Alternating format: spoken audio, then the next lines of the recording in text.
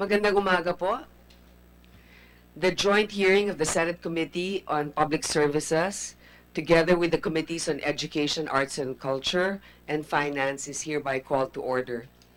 In today's discussions, we will tackle bills and resolutions that address road safety, air, land, and sea passenger rights, and a privileged speech on road accidents. Transportation safety is an important issue that has long languished as a secondary priority. Various mishaps on land, such as those involving buses and those at sea, particularly in the case of ferries, have given rise to public outcry over their handling of investigations. Currently, the PNP Highway Patrol Group and the MMDA are the two agencies that compile data on vehicular accidents. I would like to acknowledge the presence of the Majority Floor Leader, Senator Tito Soto. Morning, sir. In 2014, the MMDA reported that there were 90,258 vehicular accidents resulting in 418 deaths. In 2015, they reported 95,615 traffic accidents, 5,357 more than in 2014. Of this number, 519 persons died. 17,103 were injured, and 77,993 of these cases were damage to property. However, these two bodies are limited with regard to area, capacity, and investigating powers. What about areas outside of Metro Manila? Who takes note of that? Also, the lack of central autonomous body to investigate accident has meant, more often than not, that regulatory bodies would conduct their own investigations. These agencies have acted as judge, jury, and executioner, leading to rumors of institutional whitewashes and cover-ups. For instance, the existing Civil Aviation Authority of the Philippines, CAAP, which regulates air transport safety, came under fire during the investigation of the accident involving a department secretary who died during a plane crash. Thus, there is a need to avoid conflict of interest, situations wherein an agency is both the regulator and the investigating body on accidents under their purview. The lack of an independent body to address transport safety incidents has resulted in a lack of public confidence both here and abroad. Recently, news of a field trip gone bad resulting in the death of 15 people drew public attention on schools requiring field trips for students. I believe that ex excursions provide a means for students to learn outside the four walls of their classrooms. True enough, we should investigate the necessity of such field trips for the purpose of crafting laws that will act as guidelines for learning institutions. However, we should not take the easy route and simply deter schools from allowing its students to engage in practical learning. Thus, we need to ask the right questions and create a legislative measure that will prevent road accidents, whether during the course of a field trip or not, from happening. But it is not only the need to create an investigating body that we will call for this hearing, that we call for this hearing today. Matagal pang Halloween, pero hindi tayo natatantanan ng horror stories tungkol sa delayed flights, stranded and bumped off passengers, and exaggerated transportation costs. We also hear horror stories about taxi passengers who are held up, not at gunpoint, but by crafty taxi drivers who will demand more than the metered fare just because a passenger is in dire need of a ride. This summer, we expect even more stories as several, as many vacationistas will be traveling via land, air, and sea transportation. We may be a third world country, as they say, but we may and should demand for first world services. Airlines may offer cheap flights, but we do not want the passengers to suffer from cheap services. Taxi drivers may have the personal choice of smoking, but should be required to keep their vehicles clean and smoke-free at all times. Traveling inter-island may require only small boats, but we expect them not to be overbooked and to provide quality life jackets and other equipment to ensure passenger safety. The saying, you get what you pay for, does not and should not apply to basic services that common carriers are required to provide, especially safety. Having said this, we shall now commence our public hearing, and I would like to acknowledge the presence of, uh, again, Senator Tito Soto and our resource persons, Yusek Ann Lontok uh, from the DOTR, Engineer Daniel Reyes, Director Maritime Safety Service, Engineer Emilio Lavor, MMDA. At least mas maraming engineers yata ngayon kaysa abogado. Um, Director Medmier Malig, Assistant Director Jonathan Araulio of uh, the Bureau of Quality and Standards, uh, Police, Police Chief Superintendent uh, Maria Ranada Aplasca, Engineer Albert Swansing, uh, Ms. Sherilyn Rodolfo, Mr. Euro Zuniga, Attorney Sofia San Luis, Dr. Francisco Villanueva Jr., um, Attorney Lourdes Pagayatan, Attorney Peter Aguilar of the Philippine Inter-Island Shipping Association, Mr. Jaime Tan, Harana Tours Corporation, Attorney Cesar Brillantes, firm consultant of Harana Tours, Attorney Rolando Sibal, counsel, um, M- Mr. Danilo Literal, father of Mark uh, Daniel Literal, a survivor. Salamat po, sir. Kami po ay uh, nakikiisa sa inyo. Miss Nenita Ragua, mother of uh, Irvis. Ma'am. Miss Janeline Salatan. Also present, Attorney Martin Delgra of the LTFRB. So, let us now begin with our um, discussions, but I would like to give the floor to our majority leader for some manifestations. Per- Perhaps after we listen to some of the resource persons, Madam Chair, I have some questions for the LTO, the LTFRB, and uh, the DOTR in particular, Mr. Uh, Madam Chair. Siguro tatanungin ko yung ating mga kasama ngayon, lalong-lalo na sa mga ahensya ng gobyerno. Um, meron ba kayong mga presentasyon ukol sa pagbibigay ninyo ng permits, halimbawa um, sa mga commercial vehicles o ano pa man, um, maybe you sa Kluntok, you can, you can um, begin um, or LTFRB. Kasi nga yung nagiging issue dito, yung nakikita natin ay yung pagiging maayos ng mga sasakyan na ginagamit ng ating mga kababayan.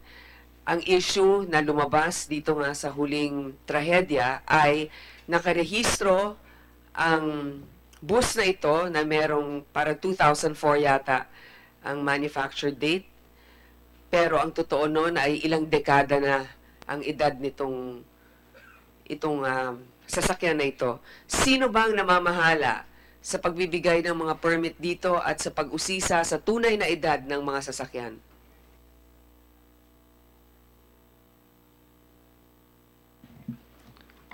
Good morning, uh, Madam Chairman. Uh, Good morning uh, to the members of this committee.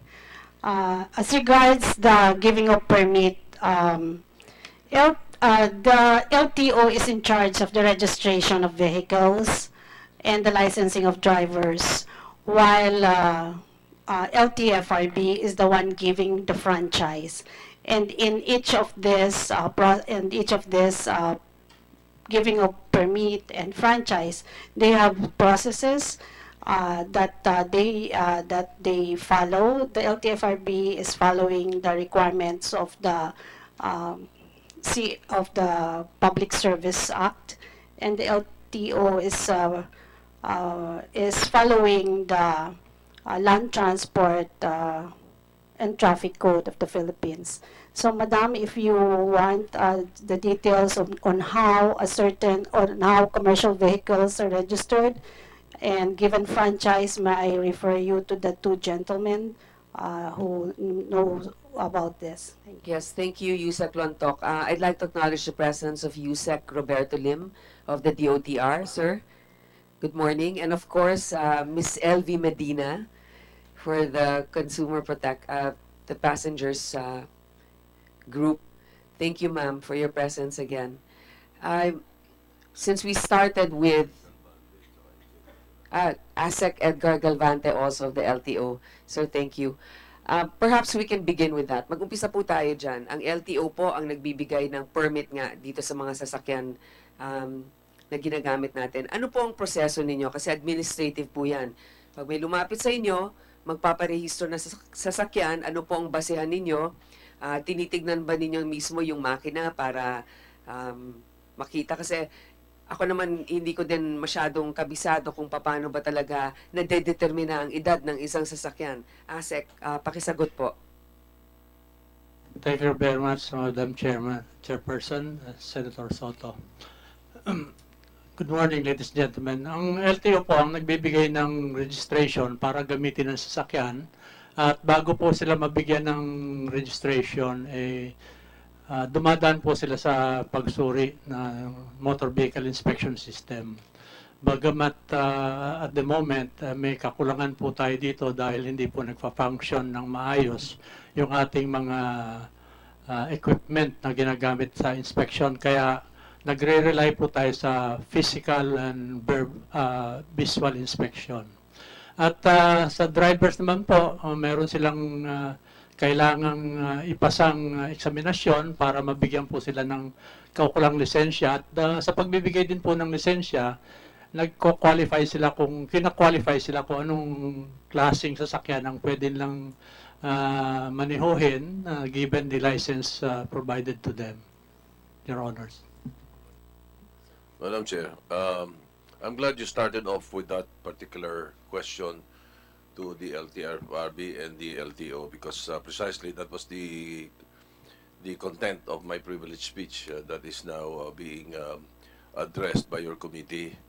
Uh, it is very sad to note that uh, there always blamed a lot of, of different uh, factors for accidents.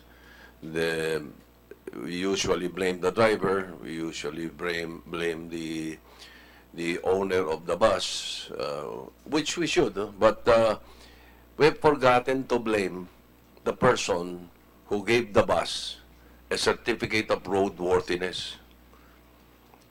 That is my main concern, and that is the reason I brought up and, and I, uh, I delivered a privileged speech. Kasi alam na natin, pinag-iinitan natin yung mga uh, ibang mga factors uh, at mga ibang mga tao na involved kung bakit nagkaroon ng aksidente, ganun. Pero may nakakalimutan tayo mas malalim pa dun eh. Paano nakatakbo yung bus na yun? Paano, paano pinayagan yan? So, Asek Galvante has just uh, informed us that uh, uh, there are equipment uh, that the LTO has that are not functioning or something to that effect. And you only rely on physical examination of vehicles. Um, uh, as far as I know, the private cars, when you um, renew the registration, they only undergo uh, uh, emission tests. Are there no other tests uh, done, like brakes, lights, steering, other safety features of the vehicle, especially the buses that uh, carry a lot of passengers? Yes, Your Honor, Madam Chairperson. Ah, yung pong kasama po sa motor vehicle inspection system, ah, chine-check yung kalang brake, yung kalang ah, steering, major components of the vehicle that should be properly functioning. Again, uh, at the moment, uh, because of uh, lack of equipment, uh, we rely heavily on the visual and uh, uh, practical examination that uh, the evaluator of the vehicle is uh, subjecting the vehicle. Who is the evaluator of the vehicle of bus, Best Link Tour Bus that met an accident? Uh, who, who, ay- who, who was he?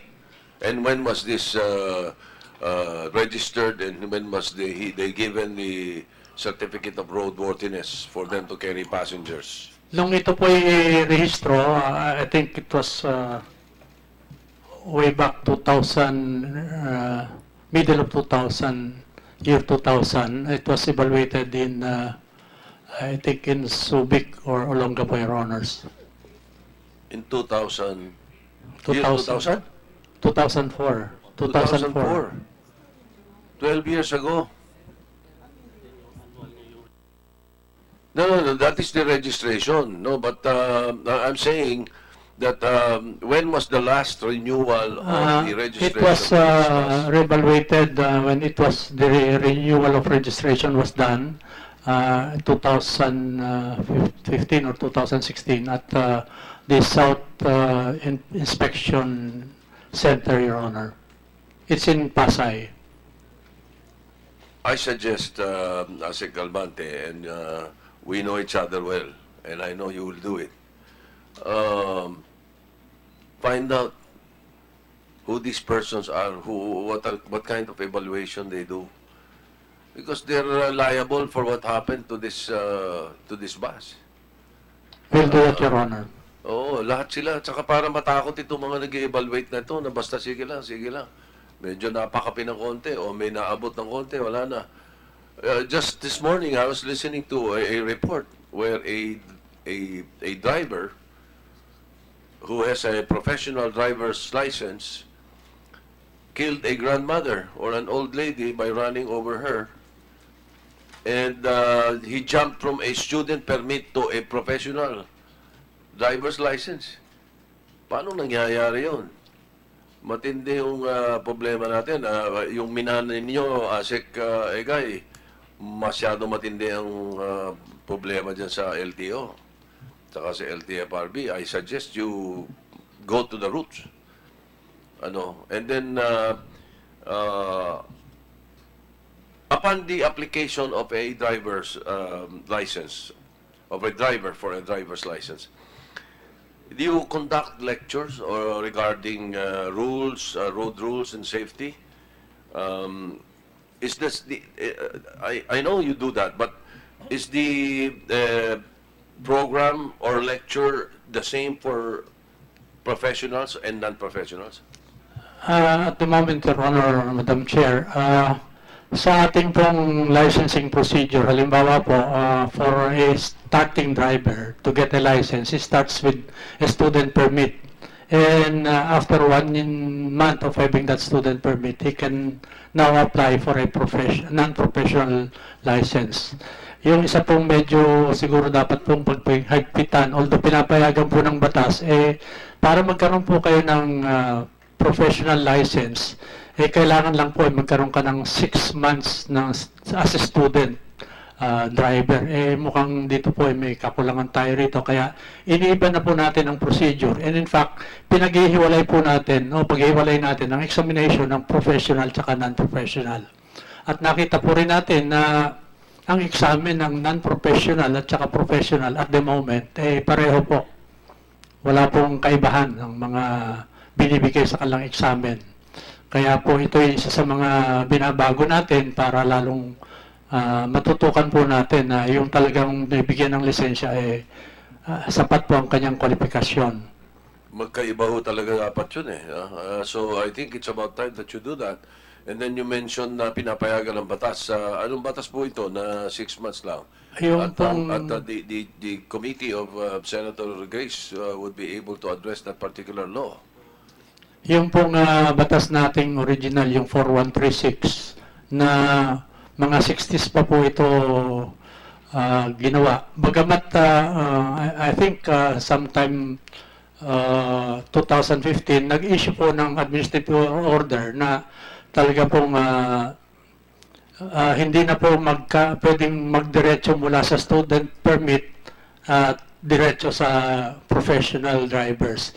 In fact, isa pong tini- tinitignan natin dito eh, kahit po ikaw ay professional driver, gusto po naming testingin ka doon sa, dri- sa sakyang gagamitin mo sa yung pagiging professional driver. Kasi po, napansin natin na even tricycle drivers are given professional licenses. But uh, of course, uh, given the load restriction, hindi po nila sila pwedeng magmaneho ng uh, mabibigat na sasakyan.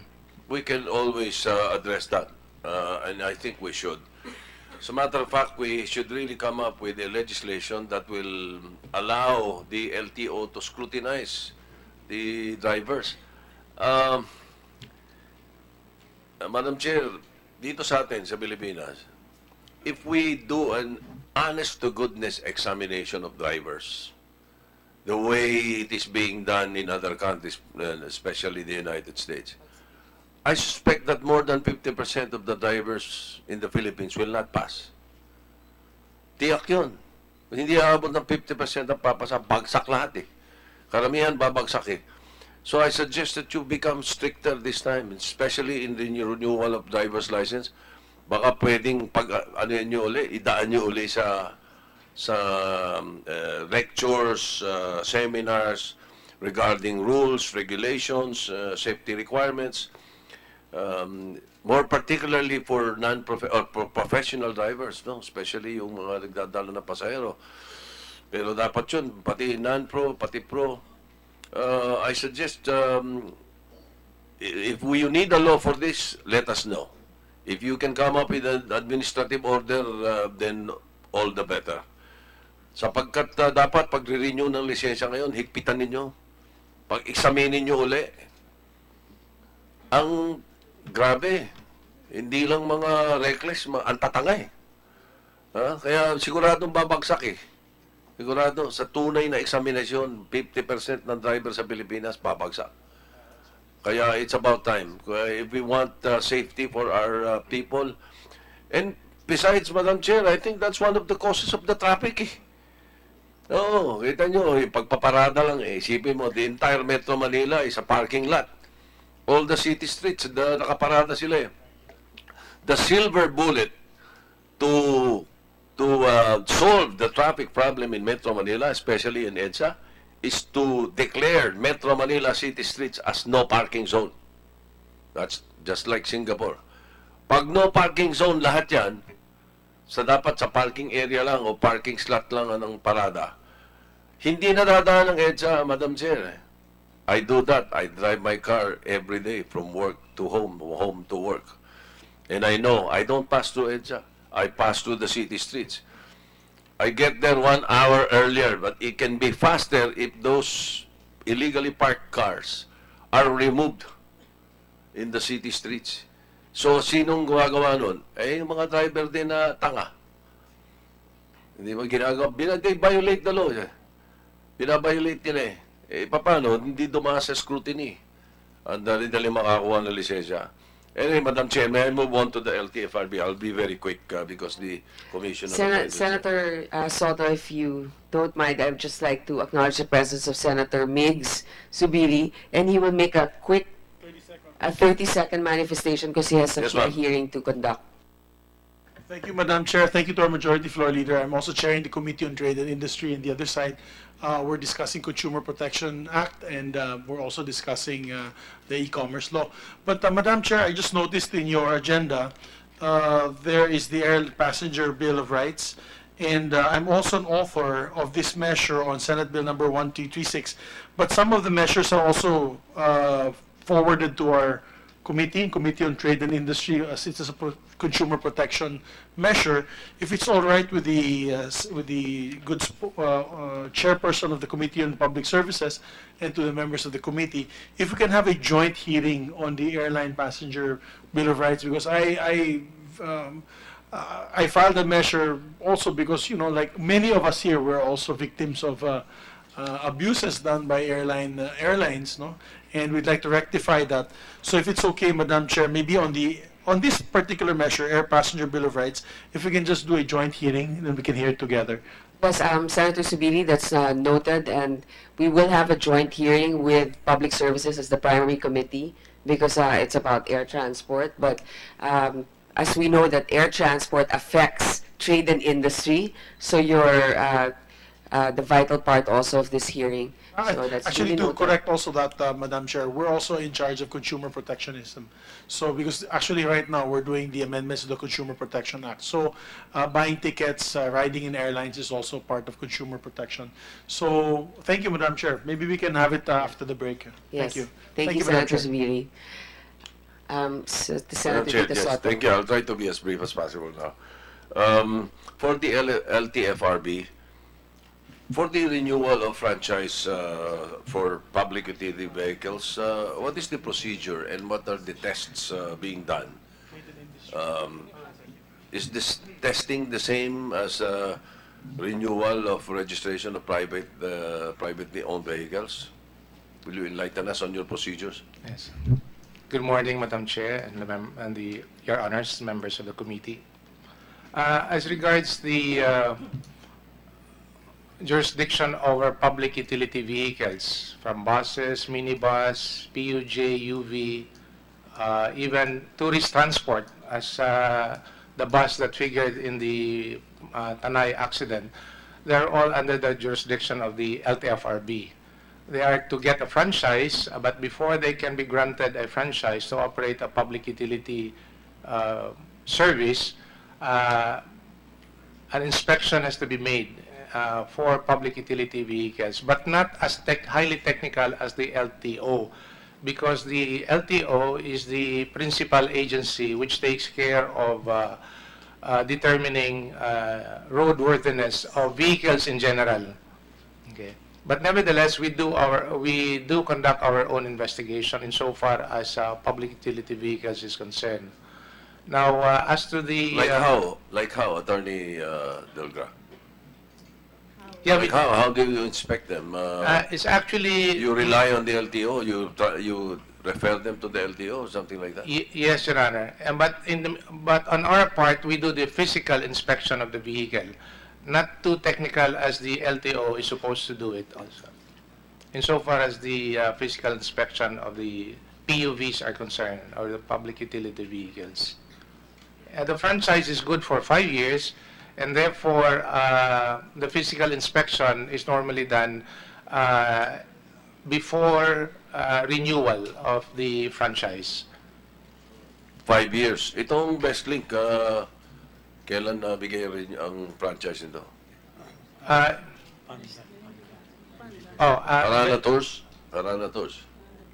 the Harana Tours was actually the um, the uh, tourist transport company which in which was engaged by Besling College of the Philippines, and because they were lacking in uh, tourist transport bus or buses for that matter, Arana Tours subcontracted it to Panda Tours. Okay, yung Panda Tours, um, um, That's the when did when did they get their franchise? Uh, they got their franchise about two years ago, if I'm not mistaken. And it's still, And, and their their buses were inspected. uh, insofar as the buses is concerned, Your Honor, they were inspected as I was told. But uh, as know, I've said, the physical inspection is, there's nothing technical about it.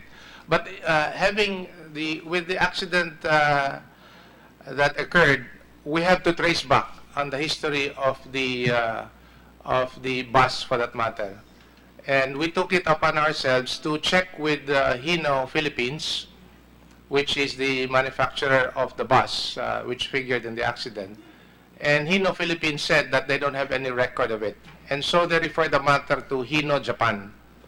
And Hino Japan uh, confirmed that the uh, engine or the engine number of that bus is of a different unit from the chassis number of that same bus. And the manufacturing date was actually 1988. So at the time of the accident, the bus was a 29-year-old bus. Actually, uh, insofar as the LTFRB is concerned, we currently have a 15-year phase-out policy. Ibig sabihin, no, uh, pag yung bus, any public utility vehicle, uh, I'm talking about bus, would uh, reach the age of 15 years, kailangan hong palitan.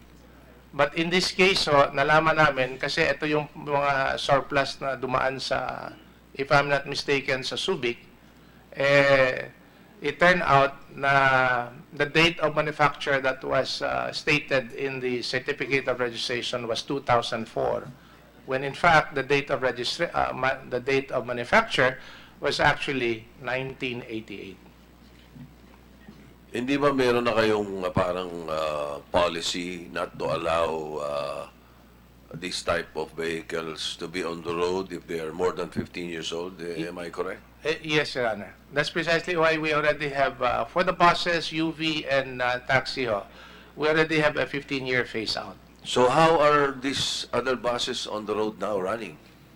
They actually would comply because if, for example, If you, in- if you, if you investigate them as well as you, how you investigated that Panda Tours bus, I'm sure lalabas yun, marami dyan, hindi. Kasi nakikita ko araw-araw eh, nakikita ko yung mga bus na yan, araw-araw eh. Bihirang-bihira ako makakita ng bago-bago itsura eh. Karamihan, bulok ang itsura eh. And uh, I've been, uh, in my privilege speech, I, there were minimum of five buses, bus accidents. EDSA, ilang beses sa EDSA, and then NLEX, lahat ng sagot, brakes. Lahat na sinasabi, nawala ng preno. Pa- Paano nga wala ng... I'm sure you know what I, where I'm coming from, Attorney Delga, and, and I hope the, the, the information that you've given us, eh narinig ng mga abogado ng mga biktima. Sapagkat matindi pananagutan niya mga lahat ng yan, na, na, na paanong nakalusot yung mga bus na yan at pinapayagan natin. Um, and then, do you issue a, a certificate of roadworthiness? Uh, insofar as the LTFRB is concerned, uh, we don't issue that particular certificate. The fact that they would pass inspection and uh, later on their uh, franchises would be renewed would be sufficient for us to say that they already have passed the physical inspection of the vehicle. Well, it's about time. Higpitan nyo na ngayon, Attorney uh, Asik uh, Egay. Hindi na pwede yan. If, if I Hindi may, na pwede yan. Lahat ng, mga, lahat ng mga basis na mga luma, huwag niyong hayaang makakapagpalusot na niregister kasi nung 19 or nung 2002. Niregister nung 2004. Yung pala eh makina eh 19 kopong-kopong. Hindi na ho pwede. Huwag niyo na pong papayagan yan.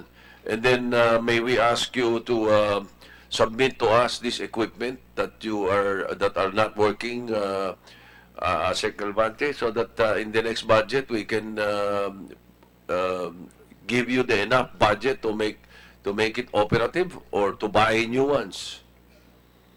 We'll do that, Your Honor, Madam Chair. If I may add, uh, we're now in the process of uh, choosing the probable supplier of uh, this equipment. And uh, insofar as initial funding is concerned, we feel that uh, this can appropriately be funded from the uh, road users tax. And uh, part also of the requirement will be sourced from the PPP uh, arrangements, Your Honors. All right, thank you, Madam Chair. Anyway, we, we, we put you to task, the LTO and the LTFRB. I hope this will never happen again. Um, pero pag naghigpit kayo, mangyayari yan eh. Pati sa pagbibigay ng lisensya, maghigpit kayo. Tignan nyo, magiging mas maganda epekto para sa bansa natin. Thank you, Madam Chair. Thank you, uh, Senator Tito Soto. Actually, si Senator Soto, may pinaghuhugutan talaga yan. Gaya nga ng sinabi niya. Siya mismo, siya lang siguro ang senador na nagda-drive um, araw-araw papunta dito sa trabaho at pauwi. Kaya nararamdaman niya, nararamdaman ng ating mga kababayan. Um, at talagang maraming mga nagmamaneho na hindi sumusunod sa tamang tuntunan dito sa Karsada. Gusto kong tanungin, I'd like first to acknowledge the presence of our hardworking uh, Vice Chair of the Public Services Committee, Senator J.V. Ejercito. Um, Doon ba sa inyong mga pagbibigay ng um, review sa mga driver, kunyari mag-exam sila, first time sila kukuha ng lisensya, meron ba kayong manual na nire-review nila uh, para sa exam? Ah, meron ba kayong video presentation? Kasi yung iba hindi talaga marunong magbasa eh. Pero nakakapasa, nakakuha ng lisensya. Ah, nung minsan ay napagdiskusyonan na namin, ewan ko kung sa inyo po, baka hindi po sa inyo ASEC Galvante, pero ah, wala ba kayong video presentation ng mga ah, basic road signs o ano, para habang nagiintay sila, yun ang pinapanood nila. Thank you, Madam Chair. Sa ngayon po, eh, pawang posters lang po ito. But we are uh, now reproducing an old manual. Binabago po natin to para, kumbaga, uh, updated po ito. And we are in the process of uh, having this uh, finalized and uh, for reprinting and distribution. So ngayon po wala po. Walang manual. Uh, mer meron pong uh, luma na and uh, hindi na po mukhang hindi na po ito kumbaga in keeping with the the times kaya po ito rini-review natin. In fact, kahit po yung mga examination questions uh, we're in the process of uh, uh, am- amending them. How many usually, how many um, questions do you give in an average license exam? Ah, seven ah, sa pagkakalam ko pang mga 735 ito. Pero ang ginagawa po namin ngayon eh bumubuo po kami ng pool of questions, mga 5,000 po ito kung saan ah, yung computer po ang random na pipili nito para ito ibibigay doon sa examinee. So that ah, no two examination ah, ah, takers would have the same ah, questions. So in the meantime, they have the same questions, uh, pulled from the 700. Ah, ngayon po ay meron pong mga sets. Kaya kung ano pong makuhang set nung exam nung examine, yun po ang kanyang sasagutin.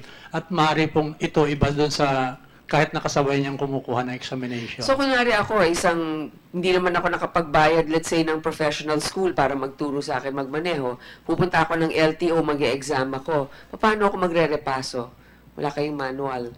So yung mga nakapaskil lang doon. Nakapaskil lang po sa ngayon. So, pag-aaralan mo, ilan ba yung questions sa isang exam? Meron bang mga 50, 30? Ah, ang ah, dapat po doon sa 50 ang questions na sasagutin la, they should get at least 35 so that they can pass. At nakakapasa, Mar- maraming cheating dyan, ano? Ah, aminin po namin yon na kahit po yung mga ating mga posters eh nakapaskil doon sa Ah, examination rooms kaya Pwede ba unahin na natin yan? Alisin ninyo yung mga naka, nakapaskil na poster sa examination room. That's a start. Put it where at least they're lining up. I mean, it- common sense. I'm, I'm glad that you brought this up, ASEC. Um, nakapaskil pala doon, pero parang open notes, di ba, yung, yung exam. So kaya naman pala, Tito Sen, hindi na tayo nagtaka no, na siguro, kaya ganyan nga hindi, hindi nila, hindi nila nasasaulo yung mga regulasyon ukol dito. So, um, siguro this committee can do a spot check um, in an LTO office just to see how the exams are conducted. Um, you were mentioning the equipment. How many LTO inspection facilities do you have in the country, sir? Do you have one per region? And how many in NCR? hindi po one per region. Ah, napakalaki po ng ating kakulangan. In fact, ah, nag-request po kami ng ah, ma- ma-repair yung ah, siyam na inspection ah, stations. Ah, bagamat ah, may nakuha po kaming advice na dahil sa kalumaan nito, mas magiging advantages po para sa gobyerno na bumili na ho ng bago. Ilan nga po ang inyong inspection stations? Ah, sa pagkakalam ko po siyam po ito na Siyam sa buong Pilipinas. sa buong Pilipinas. Um, taon-taon na dadagdagan tayo ng ilang commercial buses na nagpaparehistro uh, or commercial vehicles. I- I'm sorry, Your Honor, I don't have the figures, but uh, we'll uh, provide you. But in the hundreds, uh, Miss LV, tumatango-tango ka dyan na ilan po? Mga sa tingin Actually, mo? ma'am, um, wala po ngayon nung nabibigyan na franchise na bagong mga buses because they have stopped already the strapping and substitution. In the meanwhile, uh, this will uh, be buried out by uh, uh, by our LTFR. Sir, wala naman lumalabas ngayon na bagong, ano, wala pang wrapping and substitution, di po ba? Ah, meron na. Kasi ah, tinatanong ni ma'am kung ilan daw yung buses na lumalabas. Pero I remember ma'am, during the, um, I think that was 2013, when ah, they requested for a budget para dyan sa MVIS na sinasabi. What I ah, said to the group dun sa budget preparation ng DOTC, why don't we make a policy that the vehicles will go back to the manufacturer because it is the manufacturer. Number one, the manufacturer will not allow himself to go into a um, in an anomalous or corrupt practice. And they will be the ones to know yung talagang make nung kanilang sasakyan. ma'am, what, what do you mean that you go back to the manufacturer? for the MVIS, for the inspection and certification of roadworthiness. So in, in this case, let's say the Panda bus, Yes. go back to Hino, Japan. That's right. But na, do very classic case they, how how Yes, they determine that, ma'am? Um, They, eh, yung pong na, ano, yung mismong manufacturer will be able to trace his own uh, product. Katulad nun, ma'am, yung very classic po yung sa Hino na yan. Hino Philippines did not even know the manufacturing date. So they had to go back to Japan. Pero kung yung pong ating LTO group ang gagawa niyan, they will be at uh, a loss kung saan hahanapin yun. So kahit po yung mga private vehicles, ang recommendation po namin nun is let the manufacturers do the roadworthiness certificate. Yun nga hindi magkakaroon ng corruption, natural, like, example, Toyota po, hindi niya papayagan na sirain yung pangalan niya na matapos na bigyan ng roadworthiness, nasira yung brake. O Eh, kaya MAN, yung man. Oo nga, kaya nga po ma'am eh, yung sinasabi nga natin, the, the trucks are cannibalized. You have a chassis that's different uh, from the manufacturer of the Yes. engine. And I think Engineer Albert here has something to add to this. Ah, magandang umaga po sa inyo. Yung pong particular bus na yan, yung Hino na ah, kaya po hindi alam ng Hino Philippines yan kasi yung bus na yan ginawa sa Japan. Manufactured po yan sa Japan. Then after a while, ah, it was brought here in the Philippines as surplus. Buo ho yan. Buo ho yan. Ngayon, maaring yung kung bakit nagkaiba yung makina dahil pinalitan nila yung makina. There's nothing anomalous as far as changing the engine is concerned. No? Ah, lumabas po yan sa Subic na na-inspeksyon doon sa Subic na roadworthy. Ngayon, ang nagiging problema po natin na nabanggit yung tungkol sa MBIS. Nung pong kami, nung ako ho ang LTO chief noon, panahon na yon kasama ko po si Yusek Anlontok. Ah, nakapagbuo ho kami ng apat na MBIS. Ang programa po natin at that time, eh, maggawa ng MBIS sa bawat regions. In fact, there are regions, because of the number of vehicles, mas maraming MBIS. Dalawa, tatlo. Pakisabi nga ano ibig sabihin ng NBIS. Motor Vehicle Inspection System. Ah, nung pong panahon namin, ah, kumuha kami ng pondo from the Road ah, Users Charge, yung sa Motor Vehicle Pollution Control Fund. Yun po ang ginamit namin para magbuo ng... ah, Magkano po ang isang MVIS? depende ho kasi kasi kung pati lupa bibilin. Hindi, hindi. Okay. Yung mismong makina, di ba? Um, yung, yung makina, marami ho yun eh. Ah, marami. Ah, kasi ho, yung MBIS, ang tinetest dyan yung above carriage tsaka undercarriage. Okay, so, ang isang setup po, isang installation ng MVIS, kasama lahat ng kailangan, ano po yung budget? Pati yung tao siguro na tatao na rin doon. Noong panahon namin na nasa ano, may may 100 million ba yung isa nun? Yung isang ano ho. Kasi As, asset bawat- Levante, magkano Yeah, po yung... Si, si Yusek Anon mas nakakalam nun. Because at that time, siyang ano nun. Nung pong uh, in-evaluate, Madam Chair, uh, Your Honors, nung pong in-evaluate natin yung mga existing MBIS, ah, nakita po natin na at least 100M ang kakailanganin Yeah. to Mm. rehabilitate this. Both the structure and the equipment, Your Honors. And, and that's only for nine, right? No, Nine. for, for, for one. For one. I mean, for no, no, one. I'm sorry. Um, you're evaluating, uh, we only have currently nine, right? Oh. So 100 million is for one. So if we want to expand to more than nine MVIS stations, we need billions. Di ba? Ilan bang ideal sa ating bayan, sa dami ng ating ini-inspeksyon? Kung siya meron kayo, um, gaano kahabang pila doon at gaano katagal? Kung ah, ilan ang kailangan pa ninyo?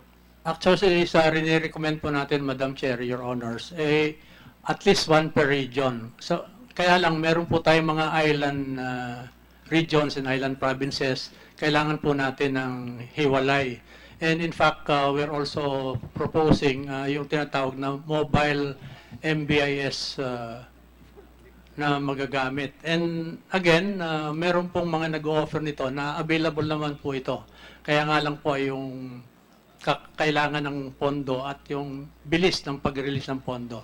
At isa pa po rito, ah, yung sa evaluation nga po, kahit na po nag-submit kami ng estimate na 100 million per, eh, hindi po sila makagarantiya na tatagal po ito considering na yung ating present MBAS daw eh kumbaga eh obsolete na po. Kaya ang rini-recommend nila eh bumili na po ng bago na mas ah, advance ang kakayahan. Ah, thank you, Madam Chair. Tanong ko lang po, dun, dun sa mga MVIS na tuloy ko lang po, no? So, nine na MVIS. So, ibig sabihin ho ba nun, wala na ho sa kanilang operational at this point, at this time? Sa ngayon po, ang ah, medyo katanggap-tanggap ang operasyon, eh yun pong nasa Alaminos, Laguna. At in fact, ito po ay nagsiserve sa almost all of Southern Luzon. Kaya talaga pong ah, ah, kulang po yung ating equipment para So, isa na lang po, um, uh, Galvante, isa na lang po ang operational yun out of po. the nine. Yun po ang ah, Kailan pa ho yun sinimula na engineer, ano, former LTO Chief Swansing, kailan ho nyo na-establish lahat yun? Nung panahon? 2008 po, Lahat po, yung, yung Siam? yung apat. Apat. Mhm. Okay. Tapos no, nung nagkaroon ng panibagong administrasyon, ano po nangyari? Bakit ho hindi na-maintain? Wala na ho sila. Ah, nag-iba po sila ng plano nung ah, nakaraang administrasyon. Doon nakikita ko po yung mga MVIS na yun eh. Kaya nga nagulat, nagtaka rin po ako, parang napabayaan at biglang nawala. Parang nawala, parang hindi na masyadong, yun nga, eh, like uh, Sec Galvati said, isa na lang po ang gumagana sa ngayon. Nag-iba nga po sila siguro ng plano Ng plano. Opo, ah, kung paano gaga- ibubuin yung lahat ng MBIS sa buong Pilipinas. Well, ang bawat isang- siguro eh. Ang bawat Um, isang MBIS po is apat ang lane nun. okay. Ah, dalawang lane para sa light vehicle, isang lane. At tapos yung dalawang lane para sa heavy vehicles, commercial vehicles. So, Tapos meron at pang present, lane at, para at sa present ho, nandun pa ho yung mga, nandun pa naman sila, yung mga lugar, hindi lang ho operational. Opo, Yung mga sites are still there, opo. except, except that the equipment need to be Rehabilitated. rehabilitated.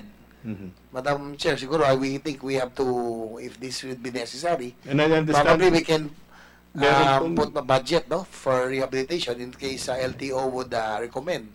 Because this concerns lives, right? I understand, we meron do not pong mind isang, if it's ano, 100 million per site because we cannot, you know, wala, wala namang presyo yung buhay eh. Di ho ba?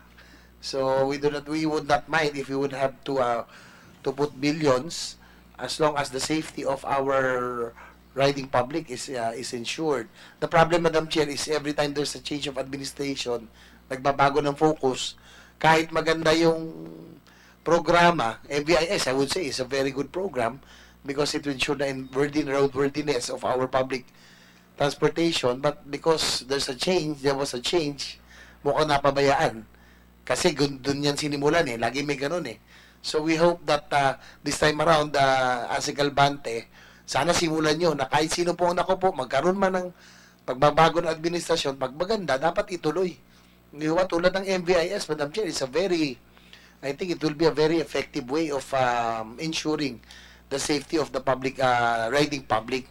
Tanong ko lang po sa ano, sino po ang nag-imbestiga ron sa uh, sa Best Link accident sa Tanay? Meron no? Yes, uh, Attorney Delgra. Uh, what was the the findings? Um, totoo bang brake failure? Meron bang skid marks? Na actually, insofar as the uh, accident is concerned, considering that it involves a public utility bus, uh, it is incumbent uh, upon the LTFRB to investigate. So on the day of the accident, we issued the preventive suspension order, uh, suspending preventively for 30 days at least the entire franchise of uh, Panda Tours, and then we set it for hearing. So it was during that hearing that we were able to call out several uh, facts, no? Uh, from from the parties themselves, no? From Harana Tours, from Panda Tours, from Bestlink College of the Philippines, and even from the victims. Uh, nalaman namin, among other things, yung sinabi namin kanina, na yung ah, real age pala ng bus ay hindi 15 years but 29 years. Uh, I just like to point a little uh, about what was said earlier about the MVIS. Ho.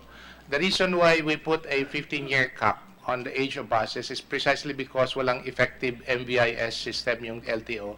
Kung meron lang sana ho, malalaman natin kahit na more than 15 years ang bus, if it's still roadworthy, pwede sigurong payagan na magpapatakbo yung bus. But apparently, since wala hong effective MVIS, nandun yung cap namin na 15-year uh, age of buses. Tanong ko lang yung attorney uh, Delgra because I'm just wor- concerned no yung mga nabanggit kanina yung mga surplus buses uh, na uso yan noong 90s eh. Are they uh, ilan kaya yung porsyento ng mga uma, uh, public vehicles na public utility buses na mga surplus pa? Uh, I'm sorry at this point, we don't have the Wala numbers kayong yet. ano. Kasi doon po ako medyo nagwo-worry no kasi ang mga surplus gaya ng sinabi nyo, madalas yan ano eh kinaka ano pinagpapalit-palit na. Di ba? Talagang binubuo na lang yan sa Subic. Tapos sa roadworthy sa mabibigyan ng uh, sasabihin roadworthy magagamit kaya lang um, marami pa diyan converted, di ba? Di ba? Marami diyan galing sa Japan eh, di ba? So, again, safety would again be a concern because alam niyo pag converted ang vehicle, especially kung hindi siya hindi maganda ang conversion lalo na nung di ba rin magaling Subic eh, medyo matagal na, meron pa nang galing ng Cagayan for a time, no ba? Doon po medyo hindi magaganda ang ano, ang conversion, no? So, just like to just like to have an idea kung gaano pa karami ang tumatakbong mga surplus uh, buses. Probably uh, Attorney Delcap or uh, uh, former LTO Chief uh, Swansing can uh, ano, can give us an idea. Please, Chairman. Uh, as I've said earlier, we don't have the numbers. But insofar as uh, surplus buses, so, so long as they would fit within the 15-year age of buses, we would still allow. Uh, and provided, of course, even if less than 15 years yung bus or yung bus, eh, kung hindi naman roadworthy, then we would not allow anymore uh, the, uh, the giving of franchise for such a unit. Uh, perhaps in the next uh, scheduled hearing, we might be able to provide the numbers, Your Honor. So what was the findings, Attorney Delgra? Was it uh, brake failure? Was it uh, uh, the bus driver's uh, error? Uh, on the technical side, though, we were not able to determine yung what actually was the cause of the accident. But uh, we, we were told because we went to, to the site. Uh, at one time, we went there to offer uh, to have mass there at the site, no, with the families and the first responders. And then we were told by the police, uh, a PNP of Tanay, na wala hong skid marks. At least that is one significant uh, Yeah, that's, that's a finding. very significant finding. Kung wala skid marks, Ah, at saka pababa ng preno. yung, ah, yung daanan. So, it's quite unusual na wala kang skid marks na ganong klaseng ano, pangyayari. And likewise, probably it's not always the yung pagkakawala ng preno, especially on the mountain na uh, yung mga ng Baguio, yan, pupunta ng Tanay, pupunta ng mga mountain provinces, that would require a special skill for bus drivers, di ba?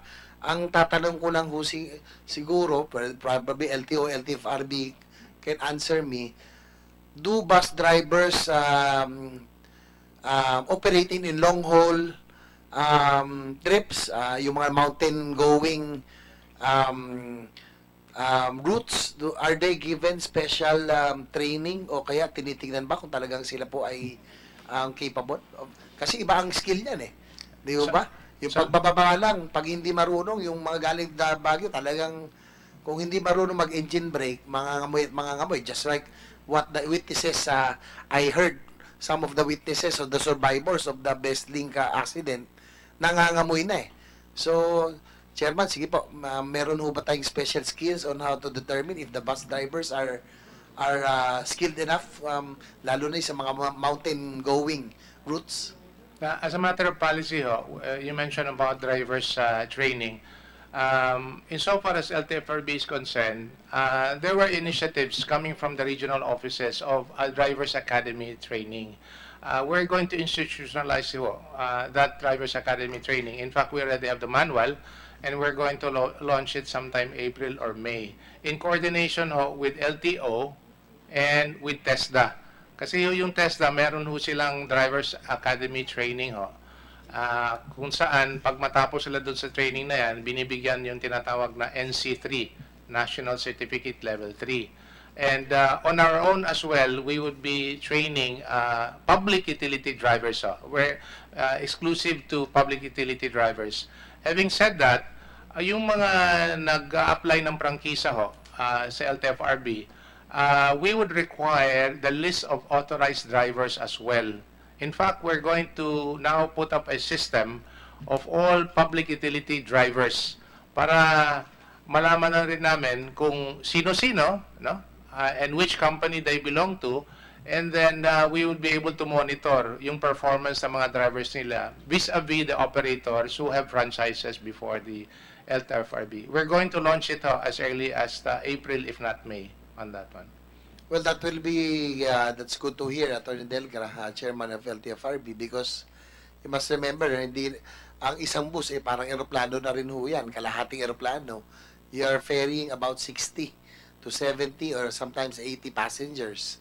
Di ba? So, that's why I'm the, this presentation also was the author, principal author of the Speed Limiters Act, and later on I will ask the, the, the status, oh, this, uh, this particular measure was passed last year, and uh, the IRR was uh, was just I, I I don't know if uh, it's already you know if it's already uh, completed no? Because I think this will uh, help a lot no? Yung uh, because a lot of uh, bus accidents uh, involve also speeding over speeding so this was this measure was passed and as I understand mo, most of the new buses naman are already fitted with uh, speed limiters. It's a matter of programming. Um, I'll go back to that later on. Doon po sa nangyari po sa Tanay again, I'll just go back. Um, meron ho bang witness na pwedeng ano, narinig ko kasi. Sino kaya pwede makapagsabi? Um, yes, and, and, Um, Sonsing. Your Honor, ang ah, ang ah, officer in charge po ng ah, Tanay Municipal Police Station ah, sumulat po sa amin at ah, humingi ng tulong ah, para ma-examine yung bus na na, na involved sa road crash sa Tanay. So, ang ginawa po namin, ah, nagbuo po kami ng team kasama po namin ng NBI, ang ah, Hino Philippines at kami. Nagpunta po kami sa Tanay upang inspeksyonin ang bus. Ah, if we can have the, meron po kaming ma, maiksing presentation. Sige po, uh, please, kasi gusto rin natin malaman, and this will help us also in our, ano, in, in aid of legislation on what measures, what uh, policies that we can introduce. Unahin po muna natin yung kalsada na dinaanan ng bus uh, about 2 kilometers away from the crash site and then we will go to the bus itself. Sige po. I'm quite familiar with that ano eh, with that route, no? Because uh, Tanay is uh, where the rest house, uh, our family rest house. Ah, yes. And also I'm a rider, I always frequent, I, al- I always uh, travel there. Kaya medyo talagang that would require a special skill. Kasi may mga areas doon na medyo matatarik talaga. And mamaya gusto ko nung malaman kung sino mas mga witness na nangangamoy na raw yun prior to the crash. No? May nangangamoy na. It's either clutch yun or preno. Di ba? So, sabi ko nga kanina, kung yung bus driver ay hindi po skilled sa mga sa hindi sila hindi sanay siguro hindi sila sanay ah, sa mountainous ah, areas pag preno na na preno yan eventually mawawala ang preno pag It- uminit na. Ito po yung so it's yung- not tama ho ba? Di ba? Hindi Yeah. naman yan lagi yung brake failure. It's not the equipment eh. But sometimes the skill of the driver. Pag preno siya ng preno eh talaga mawawala at mawawala ang preno niyan pagtapos magiinit eh 2 kilometers away from the crash site, uh, nasa baba Sige po po. yun. So, in most probability, uh, nag-pick up siya ng speed dahil paahon ho yung lugar na yan at uh, nag-umpisang mag-sigsag. If you will notice, uh, ang DPWHO ay gumagawa na ng road widening dyan sa ibang parte ng uh, kalsadang yan.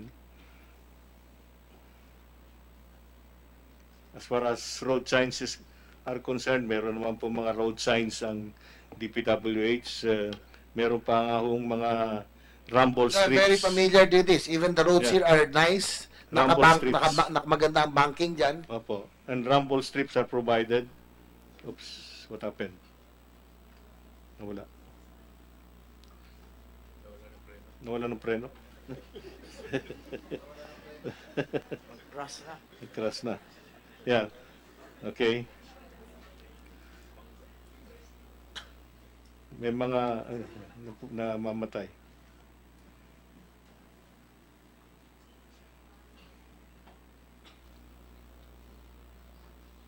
Bakit? Yan. Malapit na po tayo sa crest nung ano, kalsada. Near the crash site, uh, merong construction na ginagawa ang DPWH sa widening.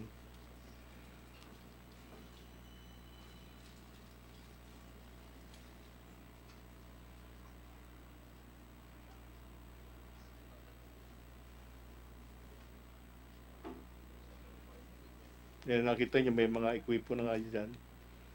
Mukhang bago bang asphalt overlay. eh. Ba- bago lang pong gawa yung kalsada. Bago-bago. Uh, actually, before the crash, uh, somewhere here, meron mga barriers po dyan na sinudsud niya yan. No?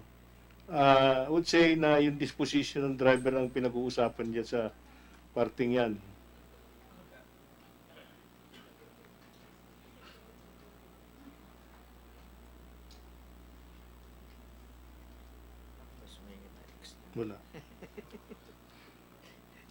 Yan. Nag-umpisa na pong pababayan. So galing po siya sa taas. Sa Galing tuklok, sa taas. Sa palok. Opo. Pababa na ho siya. And winding yung kalsada.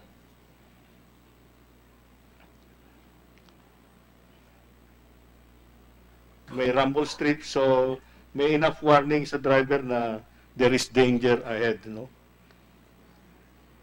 Yan, yung mga ibang barriers dyan sa gilid eh, actually sinudsud niya yun eh. As I've said na yung disposition niya ang pagkakamali, dito sa kanan is, ano ito, gilid ng bundok, dito sa kaliwa ang uh, bangin, no? So, yan, malapit na tayo sa ano. Papunta po ito sa Manila East Road, no? Opo, opo. Hindi ito yung papuntang Marcos. Tama. Hindi po, hindi po. Actually, mas medyo matatarik dito eh.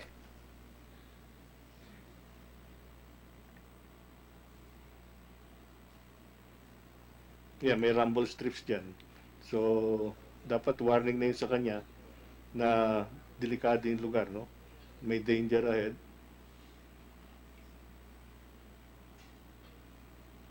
Tanong ko lang, uh, Angeles Swansing, saan ho to? Bandang gitna na?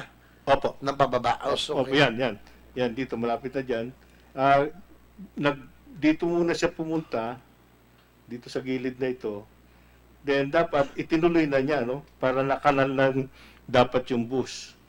Ang nangyari, nag-bounce to the left yung bus. And, uh, sige, sige. Please proceed. Then, uh, tinamaan niya yung poste. Dito. Then, huminto siya ron. Kung tinuloy niya sa kanan, hindi na niya kinabig, malalaglag lang sa kanal. Dito eh. May kanal dito eh. May kanal. so maliwanag ho, wala akong skid marks. Walang skid marks. In the most probability, nataranta na yung driver. So, inapak-apakan niya yung preno ng matagal. So, nag-init yung preno. Dahil nga ho, sinasabi ko dun sa mga hindi talaga marunong magmaneho sa bundok, I don't think it's always the, pre, the um, equipment failure eh. So pwede ho talagang preno siya ng preno without using the engine brake. Magiinit ho talaga. Siguro you can ask any of the, uh, just like to ask any of the bus operators present, um, meron ho ba evaluation, special evaluation dun sa yung mga bus drivers? Sino ba pwedeng magano? GM ng ano, Harana Tours, uh, Mr. Jaime, tanongin ko lang sa inyo, yung mga bus drivers, di ba, tinitignan nyo kung marunong ho silang mag, ah, Meron ba kayong mountain going uh, routes? Ah, opo, ah, mag- ah, magandang araw po, Senator. Ah, opo, ang kadalasan po sa aming mga driver, bago ho sila mag-drive, tinetesting muna, muna sila ng aming mekaniko kung marunong sila magmaneho at kung gaano katagal na po ang kanilang experience sa pagmamaneho po. At ako ah, nagpapasalamat po sa 15 years na po namin serbisyo po sa turismo ng pagpaparenta ng bus ay wala pa po kaming major accident po na nangyari Hindi, po sa sa amin. marunong magmaneho, maraming marunong magmaneho. Opo. eh. Yung pong special skills nga ho, dahil maraming mga buses natin pupunta ng Baguio, umaakit ng ah, Mountain Province, sa Isabela, um, dumadaan ng Dalton Pass, may mga dumadaan ng Liga, ah, to, um, Pakeso naman, papuntang Bicol, aakyat baba rin yun.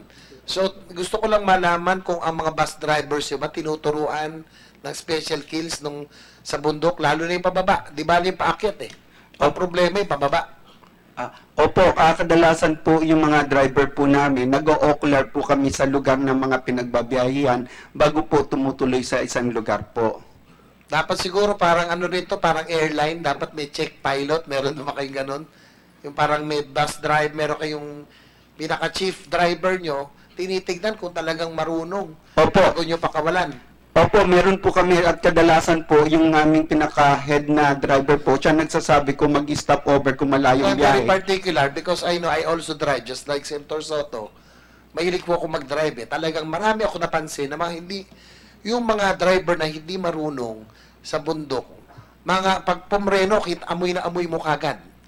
Nangangamoy ang preno. So gusto ko malaman kung lahat ng driver yon, especially those mountain going routes, no, yung dumadaan sa mga bundok, kung lahat sila tinuturuan ng special skills, lalo na yung pagbababa, yung pag-engine brake.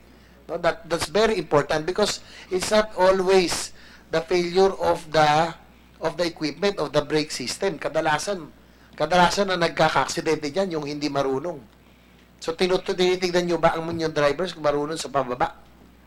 Ah, sa amin po, opo po kasi nag-o-ocular po kami. Plus meron po kaming evaluation po sa mga driver na galing po sa aming mga pasahero. Well, probably, ano, just like to ask uh, siguro Chairman Delgra and uh, uh, Ase Galbanto, I, I hope you can uh, especially take note of this, no? You can is- issue memo nyo lang siguro yan eh.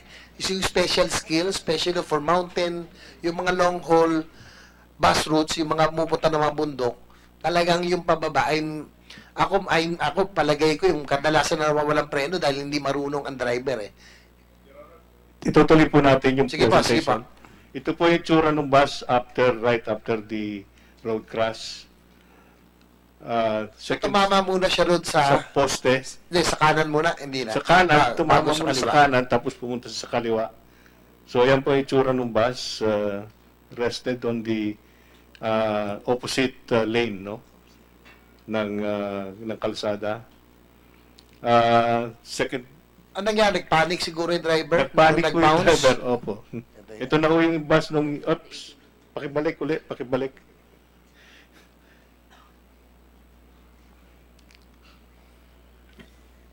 So talagang walang skid marks. Wala pong skid marks kasi nga po, Pero hindi na imposible din, kumagat yung preno. Engineer Sonsing, imposible rin hindi magpreno ang driver eh. Yes. Kapag mag, ano, ibig sabihin, nagkaroon ng brake failure, pero ako more than the equipment problem, I, I, I feel it's Mm-hmm. the, it's the driver ang may problema rito. Ito, Hin- ito, ito na ho yung itsura ng bus nung in-inspection namin. Ah, nahati na halos eh. Ah, nung dinala na sa sa impounding area. Next next frame please. Yan o. Hiwalay na yung front axle niya dun sa bus, no? Ang ah, object po ng inspection namin is tignan yung preno. So, next slide please. What we did was we removed the uh, left rear tire nung bus para ma-inspection namin yung preno. No? Yung NBI po, ang ginawa nila, nag-macro etching sila dun sa chassis tsaka sa engine. And uh, ito po yung ano, preno niya. Oops. Ulit.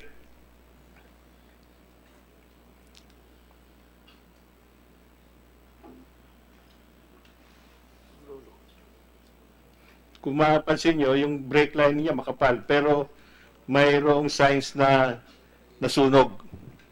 Dahil uh, it was subjected to intense heat. No? Ito yung brake lining. Tinignan namin yung, uh, yung wheel cylinder. Ito pong type ng bus na ito, fluid po ito. No? Hindi po ito air brake. Uh, fluid po yan. So tinignan namin yung uh, wheel cylinder. Wala namang pum- pumuslit. No? So functioning yung brakes niya. Uh, next slide please. Yan, you notice yung yung brake lining mukhang bagong palit pa nga eh. No? Kaya lang mayroong siyang ano ng sunog ng brake lining. Next slide please. Ito naman po yung brake drum. Yung brake drum eh man manonotice niyo pag kung kung ano no, hindi lang maliwanag yung ano. Ah, nagkaroon ng ah, yung glazing na tinatawag. So that means the brake drum was also also subjected to intense heat.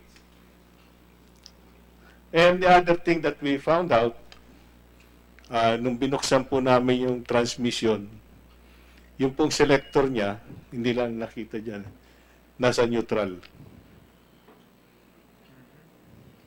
Ano pong nasa neutral? Yung Yung, pong, transmission? yung binuk, nung binuksan namin yung transmission, yung pong selector niya, nasa neutral. At the time of the crash. Opo. Eh di talaga mas mahirap pigilan no yun. Bumubuelo na pababa Oo, tsaka walang, wala man lang, hindi mapipigilan man ng, ng engine, no? Yung engine- engine Oo. brake. Hindi, eh, wala nang engine brake yun. Wala Hindi na yung talaga. pwede. Doon po sa inyong pag-iimbestiga, ilan pong taon ang experience ng driver na yon sa pagmamaneho? Ah, hindi na po namin nakausap yung driver eh. Pero Hindi, hindi yung driver. Sa inyong nakitang investigasyon doon sa may-ari nung ng tour or panda. Sino po ang nag-iimbestiga noon? LTO ba? eh, ang, ang, hindi po, ang malalaman yun sa kung kailan siya nakakuha ng driver's license. Kaya nga, meron na bang nag-imbestiga noon? Kailan na-issue yung driver's license nung driver na yon? Ilang taon na siya? Parang basic po na tanong yon. We're sorry, Your Honor, we don't have the data at the moment, but we will provide, Your Honor. I, I think that's uh, one of the first things that we will have uh, that you consider the experience of the driver, uh, the track record, uh, if he's familiar with the route. Um, perhaps it might be one of the first uh, times that he's driven there, but has he been to other areas like that? I'm so disappointed na wala man lang nagtanong kung ilang taon na nagmamaneho ang driver na yon. Um, Miss Elvie. Madam Chair, back in 2009, um, now USEC and Lontok was in charge of the Road Safety Management Committee of the OTC. And uh, under her was our subcommittee in charge of this emergency uh, accidents, uh, emergency incidents on the road. So what we did is we uh, developed together with some experts, a forensic protocol for road uh, crashes. And in that uh, protocol, we identified the basic causes of road crash. We um, saw the importance of uh, human factor, human factor being not just the driver, not just his skill, but also his psychological setup at the time of the incident. The other factors, the other human factors, is the driver or the assist because most of the time the conductor or the assistant becomes a navigator. So he also assists the driver. The other human factors are also the passengers. Were the passengers at ease? Because uh, this happens sometimes when during excursions, when the passengers are very, very noisy, they are all, uh, they are all hyped and energetic, the bus driver sometimes loses focus. The other human factor are the people on the street. Sometimes there are people who just cross the street all of a sudden. So that's the human factor. The other factor is the vehicle. As we have now, we have the uh, uh, Engineer Swansea has talked to us about the things that they uh, investigated, but uh, in the forensic protocol, there are more than 40 items that are to be tested. For example, the body itself, the gauge of the, the, the body of the bus and so on. And also the, um, where, at the time of the accident, where are the victims seated? Because there you will find out which is the most vulnerable part of the um, vehicle so that there could be uh, there could be um, measures to address those vulnerable seats.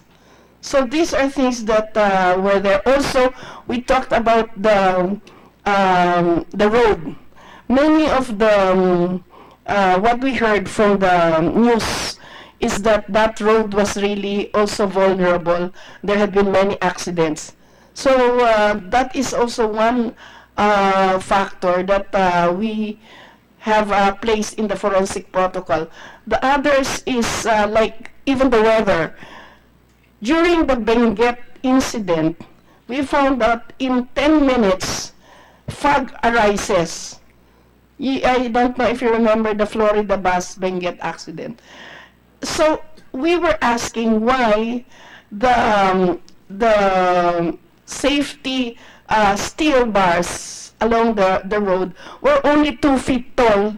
It's not even half the size of the um, of the wheels of the the um, tires. So uh, they said uh, because they're only following the international uh, international uh, standards, which was done in the 50s yet when the size of the buses were not even the size of the buses now. So these are things that have to be looked at. Also, what is the first thing that has to be done when an accident like this happens? Like, for example, uh, securing the place of the accident, gathering of data, how is it done? I remember that there is already a law that was passed. Whether or not the driver is dead or alive, there should be a medical uh, examination in his alcohol or drug level. Was there something like that done Actually, in um, this case? Miss Miss LV, uh, what you presented is really quite enlightening. Of course, there are many different factors at play. Yes. Um, I would, and and uh, I think this proves the relevance now of our the subject of our hearing to have a National Transport Safety Board because we don't know who's really in charge of this. Um, uh, Engineer Swansing is an NGO helping us uh, understand the situation, but it's really the SOCO who did the investigation, if I'm not mistaken. So now, is the SOCO present here today? So, uh, paki, paki, bigay, bigyan mo kami ng liwanag po, ah, sir, kung ano ba talaga ang inyong natunton tungkol dito sa aksidenteng ito. Ah, ilang taon po yung driver na namatay at ano po ang kanyang karanasan sa pagmamaneho? Uh, Madam Chair, Your Honors, uh, good morning po. Uh, I have here a copy of the SOCO report, but unfortunately, uh, there's no indication on the condition of the drivers uh, during the uh, during the No, but accident. how old is the driver when he passed? Uh, right now, Your Honor, we don't have the data yet. Ano ba naman? Uh, in fact, we have uh, we have uh, requested actually LTO, Your Honor, on the history of the application of licenses of the driver, Your Honor. I think that that's a vital factor that you should have looked into. Hindi porkit na namayapa na yung driver, eh hindi na natin matatanong, so bali wala na. Meron tumataas ang kamay dyan. Meron po kayo madadagdag. Ah, please identify yourself so I can see your nameplate. Good morning, Your Honors. Uh, I'm Attorney Bernie Panagsagan, Counsel of Panda, Your Honor. Based on the 201, 201 files of the driver, the driver was born on on January 30, 1979, so he's 38 years old. How long has he been driving? Do you have that information, attorney? No, Madam, uh, what we have is his, is his uh, job experience, Your Honor. I started working as tourist bus driver in Evacom, uh, seven months. Another uh, one month uh, in JTB bus, uh, as bus driver, and uh, from May 30 to July 2016, bus driver of Piltranco, Your Honor. In total, he has about two years experience. Tw- From 2013, 2013, uh, four years, four years. Four years experience. Your Um, so there's really no protocol on how these investigations are to be conducted. So I, I believe Tanay asked for the help, uh, that Tanay Police asked for the help of Engineer Swansing uh, to do the investigation. But who is the overall uh, overseer of the investigation? It's the SOCO, correct? Uh, It's the PNP uh, Tanay, Your Honor. PNP Tanay, are they present here? Yes, Your Honor, the, the investigators in charge are Ah, present today. PNP ah, ng Tanay, saan po? We have the two investigators of the... Oh, sige. Pakisalaysay po kung anong anong mga natutunan ninyo dito sa inyong investigasyon. Or did they submit that to you, sir? Would you like to enumerate them or maybe pakinggan po natin sila? You know, they're, they're PNP officers. However, they don't really have the specific expertise to investigate vehicular accidents. So, in which case, if uh, that's the situation, who are they supposed to call? Is it the LTO? Is it the LTFRB? Is it, uh, I mean, we can't just rely on an NGO. Sino po yung, nung kayo po yung nag-iimbestiga, meron po bang, uh, meron po ba kayo sa inyong regulasyon kung sinong dapat niyong tawagin pag merong uh, aksidenteng ganyan? Ah, good up, ah, good morning, Your Honor. Ah, bali, ma'am, ah, pagka ganyan, may mga first responder po kam, na tinatawag kami. Kung sino po yung unang tawagan ng concern na nakakita po doon sa insidente. Bali, nung pong, nung pong nangyari po yung insidente, meron pong nagpuntang concerned citizen na nakamotor doon po sa, malapit doon sa pinangyarihan po yung kung tawagin po namin PCP, Sampalo. Andun po yung may investigator po kami doon, si PO2, si Villena. So, meron na po ba kayong nasubmit na report tungkol dito sa investigasyon nyo? Bali, ma, meron po kaming ginawang special written report. At kanino nyo po isinumite ito? Bali, ma'am, ipinasa po namin sa headquarters po namin. At saka, ma'am, may humingi din po ah, NBI.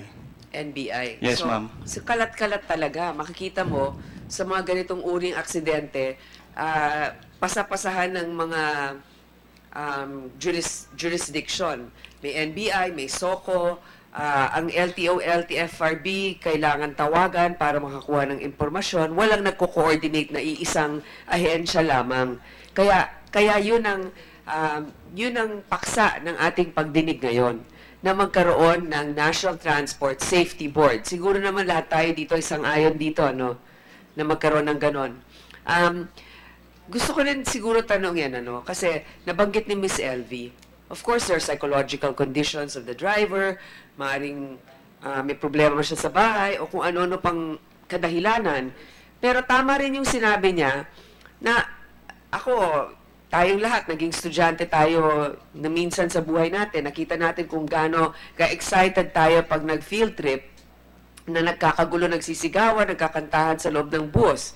Ah, okay lang naman yon Ang sinasabi ko lamang, siguro patanong na rin dito sa best link, no?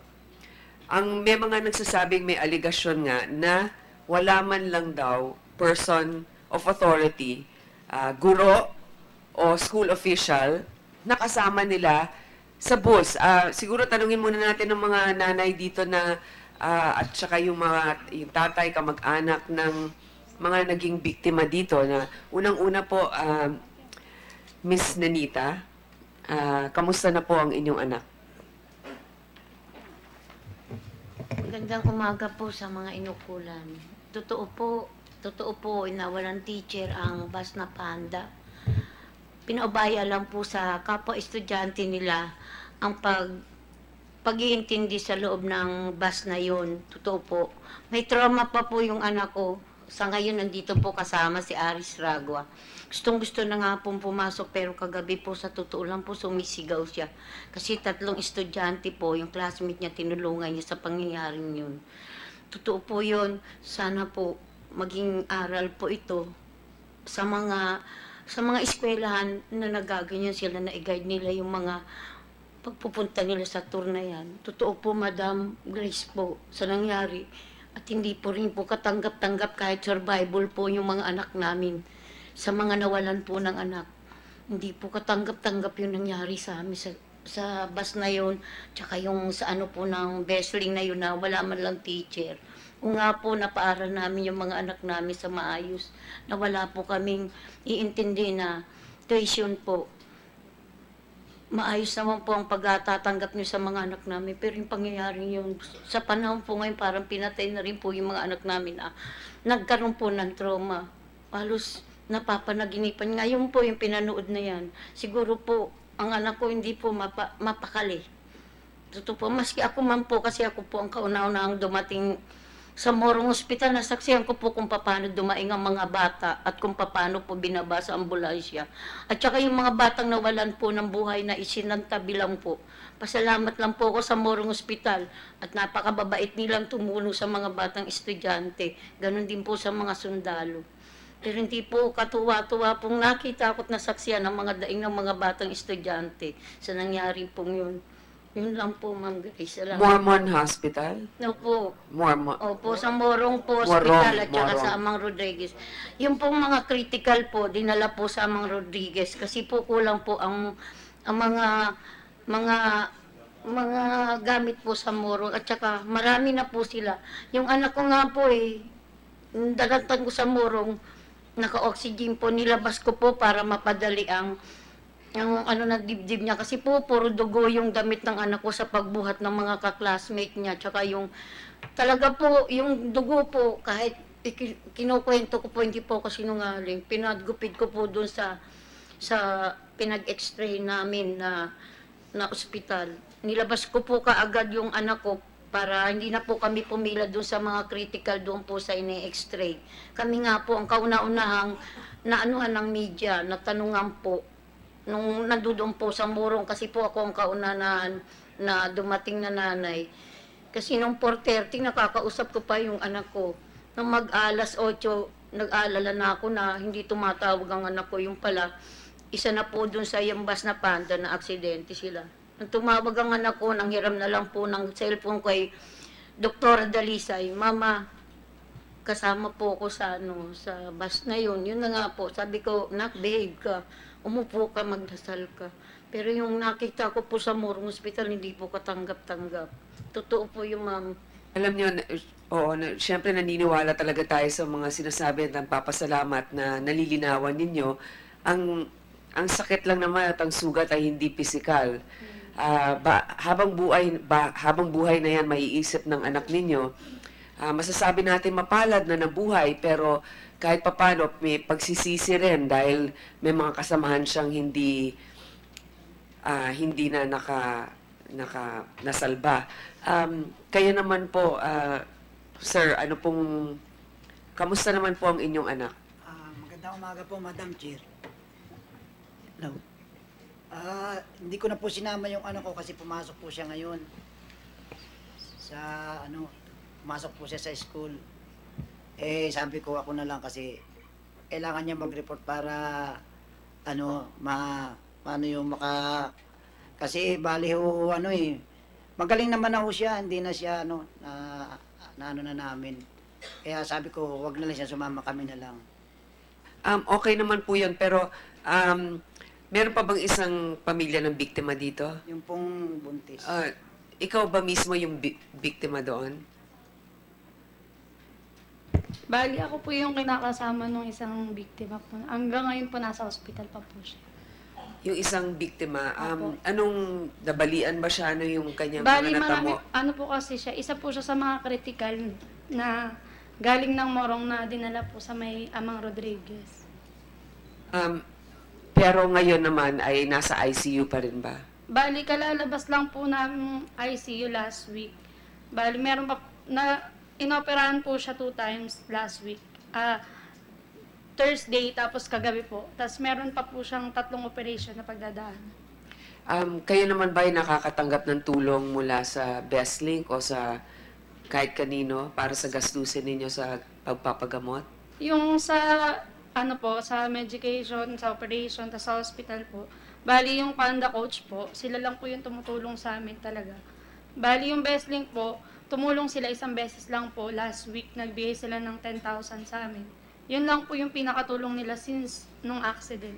Gan- kayo po, magkano po yung natanggap ninyo mula, mula sa Bestlink?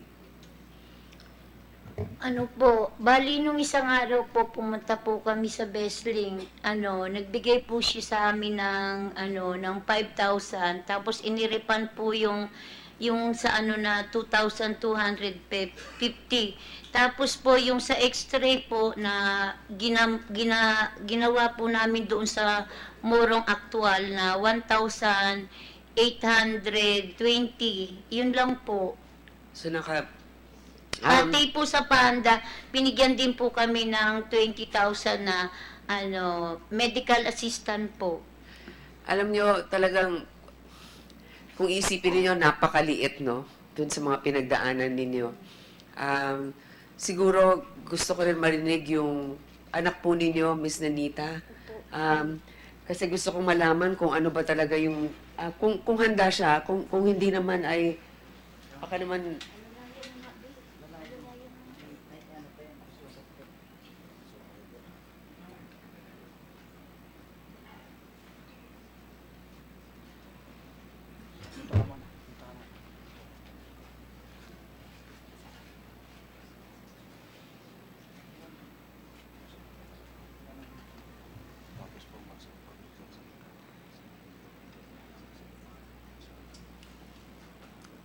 an, anong, anong pangalan mo?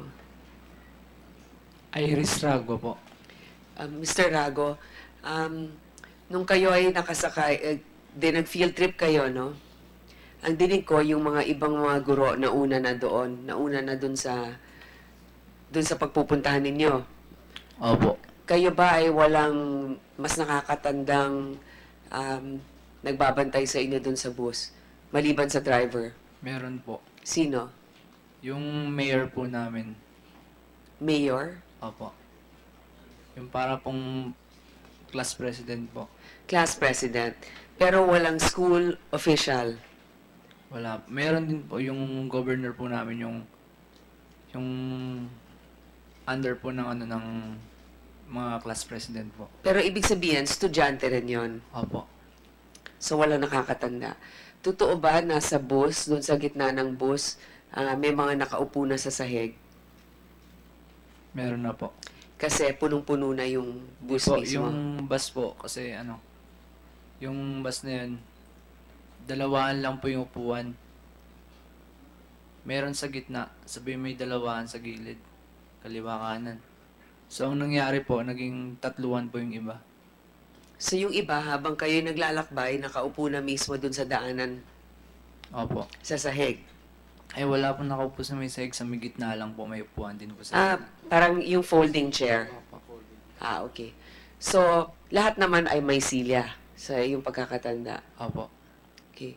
Um, kung makakayanan mo lang, ano, ikwento na lang ninyo kung kailan mo unang na naramdaman na may problema dun sa bus. Yung ano po, yung pag-akyat po namin ng ano, ng galing po kami sa ano sa Kogyo po. Pag-akyat po namin ng bundok, yung time na yun, nangangamoy na po yung loob ng bus. Tapos nung ano po, nung nasa ano na po kami, mas siguro malapit na po sa may Sampalok. Ano po, hinubad ko po yung isang sapatos ko, pati yung medyas ko, tinapakan ko po yung sahig po. Sobrang init na po talaga. Kasi mapapaso na po ako niyan. Sabi yung dalawang pa ako po, inangat ko na lang po. Pinangat ko na lang sa may upuan.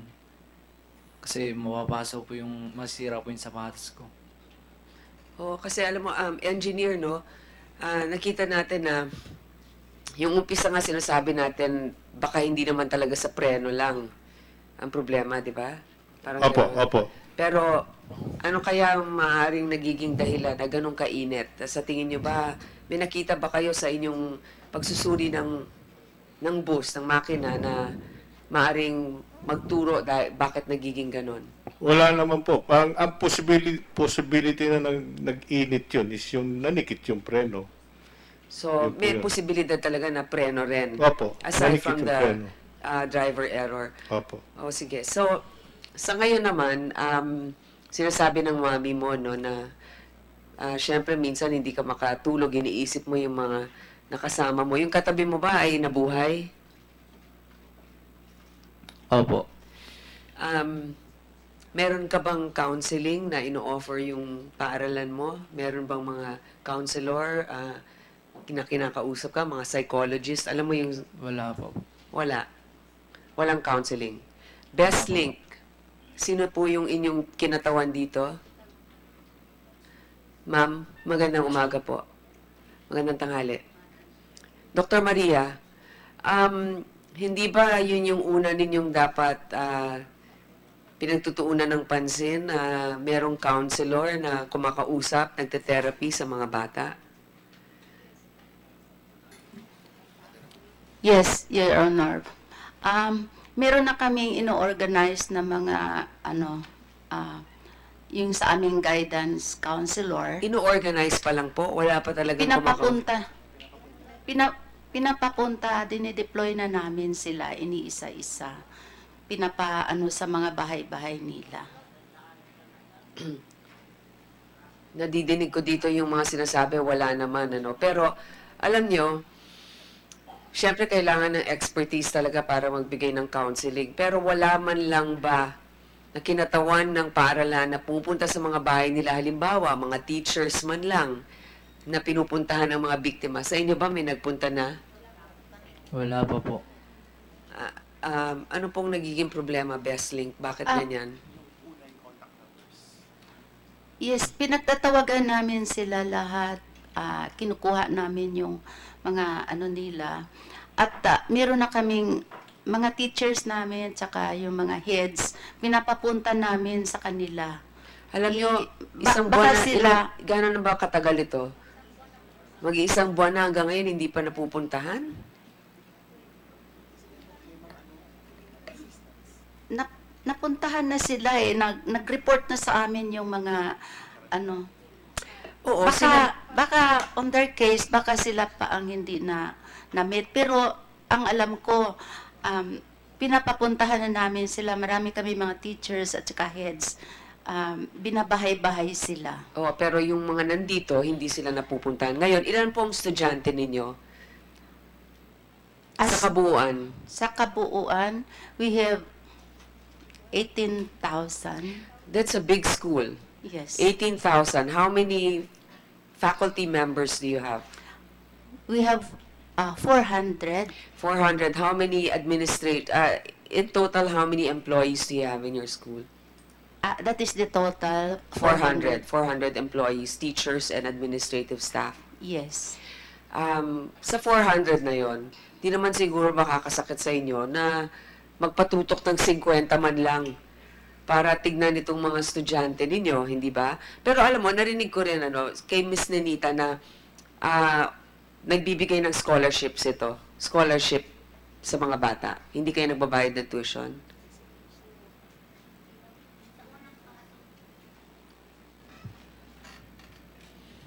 Sa unang pasok po talaga, nasasabi nila na walang tuition. Pero kada exam po talagang majority na nagbabayad at saka ano po, yung mga miscellaneous po, kagaya po yung yung yung mga yung mga activities po nila, nagkakaroon po kami ng bayaran sa kanila. Kagaya po yung mga palabas sa ano, mga foundation, ganyan Magkano po. po sa isang taon ang yung mga miscellaneous, yung mga exam fees ang nababayad ninyo sa Bestly?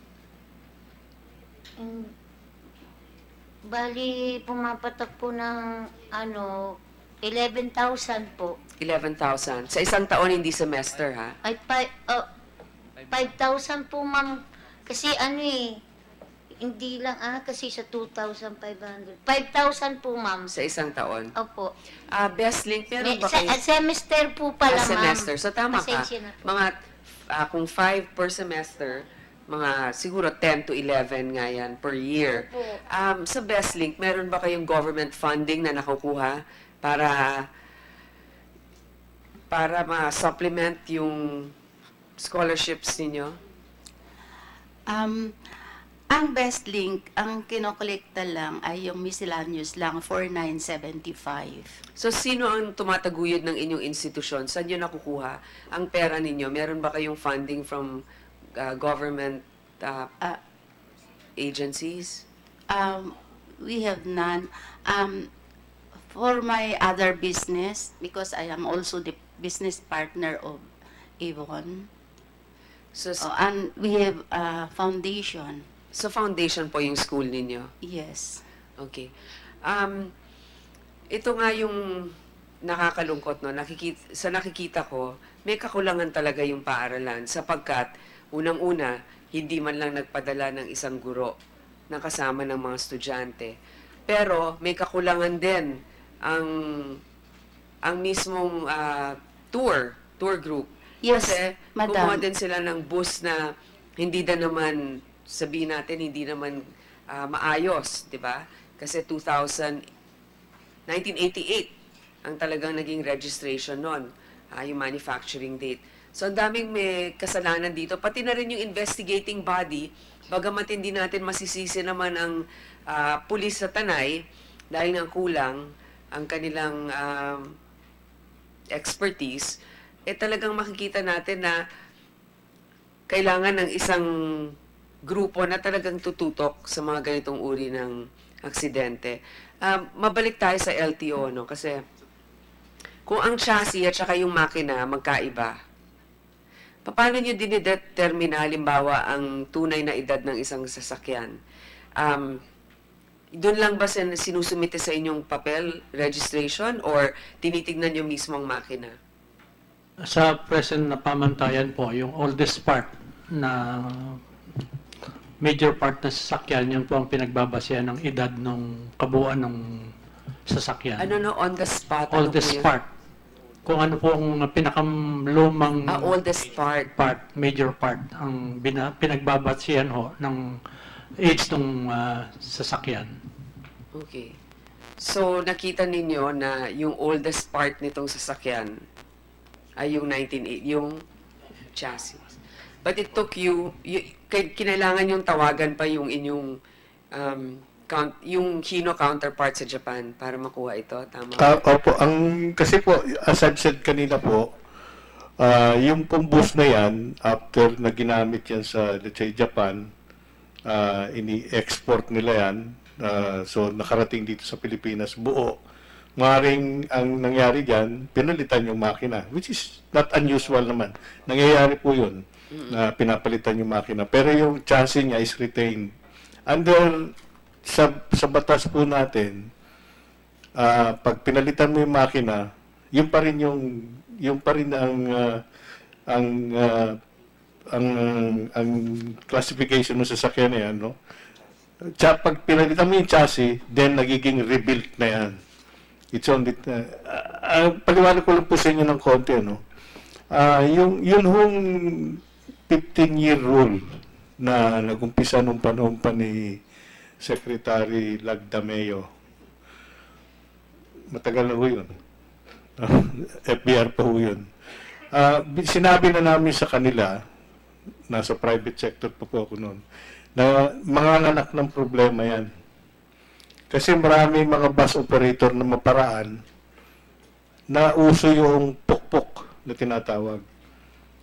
So to circumvent the 15-year rule, yung makina papalitan, yung chassis, chassis number lang ang papalitan. Then may register ulit sa LTO as rebuilt, as if bago. No. So eh, yung yung ganung practice eh nanatili ho yun eh. Kasi nga iniikutan yung ang sinasabi namin, ang pinaka ma, ma- maayos na paraan is checkin niyo yung roadworthiness ng sasakyan. So kahit na abutin pa ng 50 anyos yan, kung maayos yung sasakyan, tatakbo yan ng maayos, matino. But ang problema at that time, wala nang MBIS eh. Nung panahon ni ah, meron. Merong silang pinocure na MBIS at that time. Meron pa nga isang set ng MBIS na hindi nagamit. Nabulok lang. Doon sa Cagayan de Oro yun. Ah, tapos nung time namin, ganun, eh, binuo namin yung MBIS para nga pantapat dun sa roadworthiness na yan. Sige, so nakita natin lahat itong mga problema. Ang dami natin pwedeng gawin, no? Na kailangan ay matutukan nga sa susunod na budget or kung ano pa man. Pero habang nandito na rin tayo sa paksa na ito, ang CHED nandito, ano? Ang unang nagkaroon ng moratorium on field trips. Gusto natin malaman ngayon kasi sabi nyo, habang bumubuo kayo ng guidelines, although ito mas concern ng Committee on Education, eh habang nandito na tayo ngayon, gusto natin malaman ano na bang update, may moratorium pa ba? Ang anak ko may field trip. Um, meron na ba kayong nilabas na guidelines? Ah, magandang umaga po sa lahat. Maganda po, Your Honor. Ah, ang CHED po ay nag-issue ng moratorium at ah, ah, it is still existing hanggang ah, hindi pa namin na-revise, na-review yung guidelines that is CMO 17 of 2012. Ah, nagkaroon po ng TWG, nag co- we constituted a TWG which is interagency at uh, nire-review po yung aming guidelines. And hopefully, magkakaroon kami ng public consultation sa April 20 at ilalabas ito ng May. At magkakaroon po ng orientation na kung saan lahat po ng stakeholders will be invited for the orientation. So with this, yung mga sharings po dito ay ah, i-incorporate po namin. Titingnan namin kung ano pa ang ah, ah, gagawin para ma-enhance yung ah, present guidelines namin. Okay, so para lang malinawan, by May, meron na kayong rekomendasyon Opo, Your para magkaroon na ng orientation. Kasi nga yung nagiging problema sa atin, ah, pag, pag merong ah, riding in tandem, ipagbawal na yung ano, mga dalawa sa motorsiklo. I mean, parang hindi mo naman talaga binubungkal pati yung ugat ng problema eh.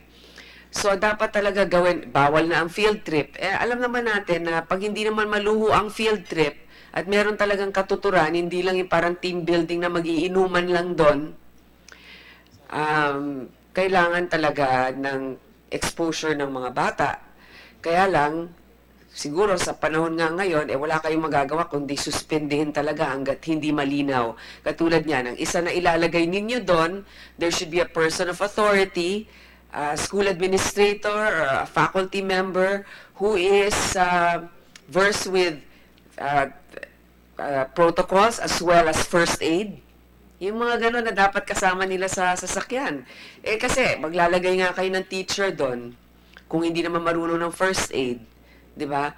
O kaya yung teacher ah ah, tapikin lang ng estudyante, matutumba na. Um, ibig sabihin, yung talagang sanay sa pag-handle ng mga ganitong uri ng ah, lakad. So, isama po ninyo dyan, ah, certification ng Red Cross sa first aid. Maaaring pwedeng isama dyan as a requirement ng CHED. Um, siguro ma- mapunta naman, ah, because this this actual this is about um, the creation of the National Transport Safety Board, which includes air, land, and um, air, land, and sea. So if uh, of course with the with the permission also of my co-chair, siguro tanungin din natin kasi yung sea accident, marami rin talaga yan ano. Ah, gusto kong gusto kong malaman, alam mo may mga fast craft accidents kahit sa Cebu.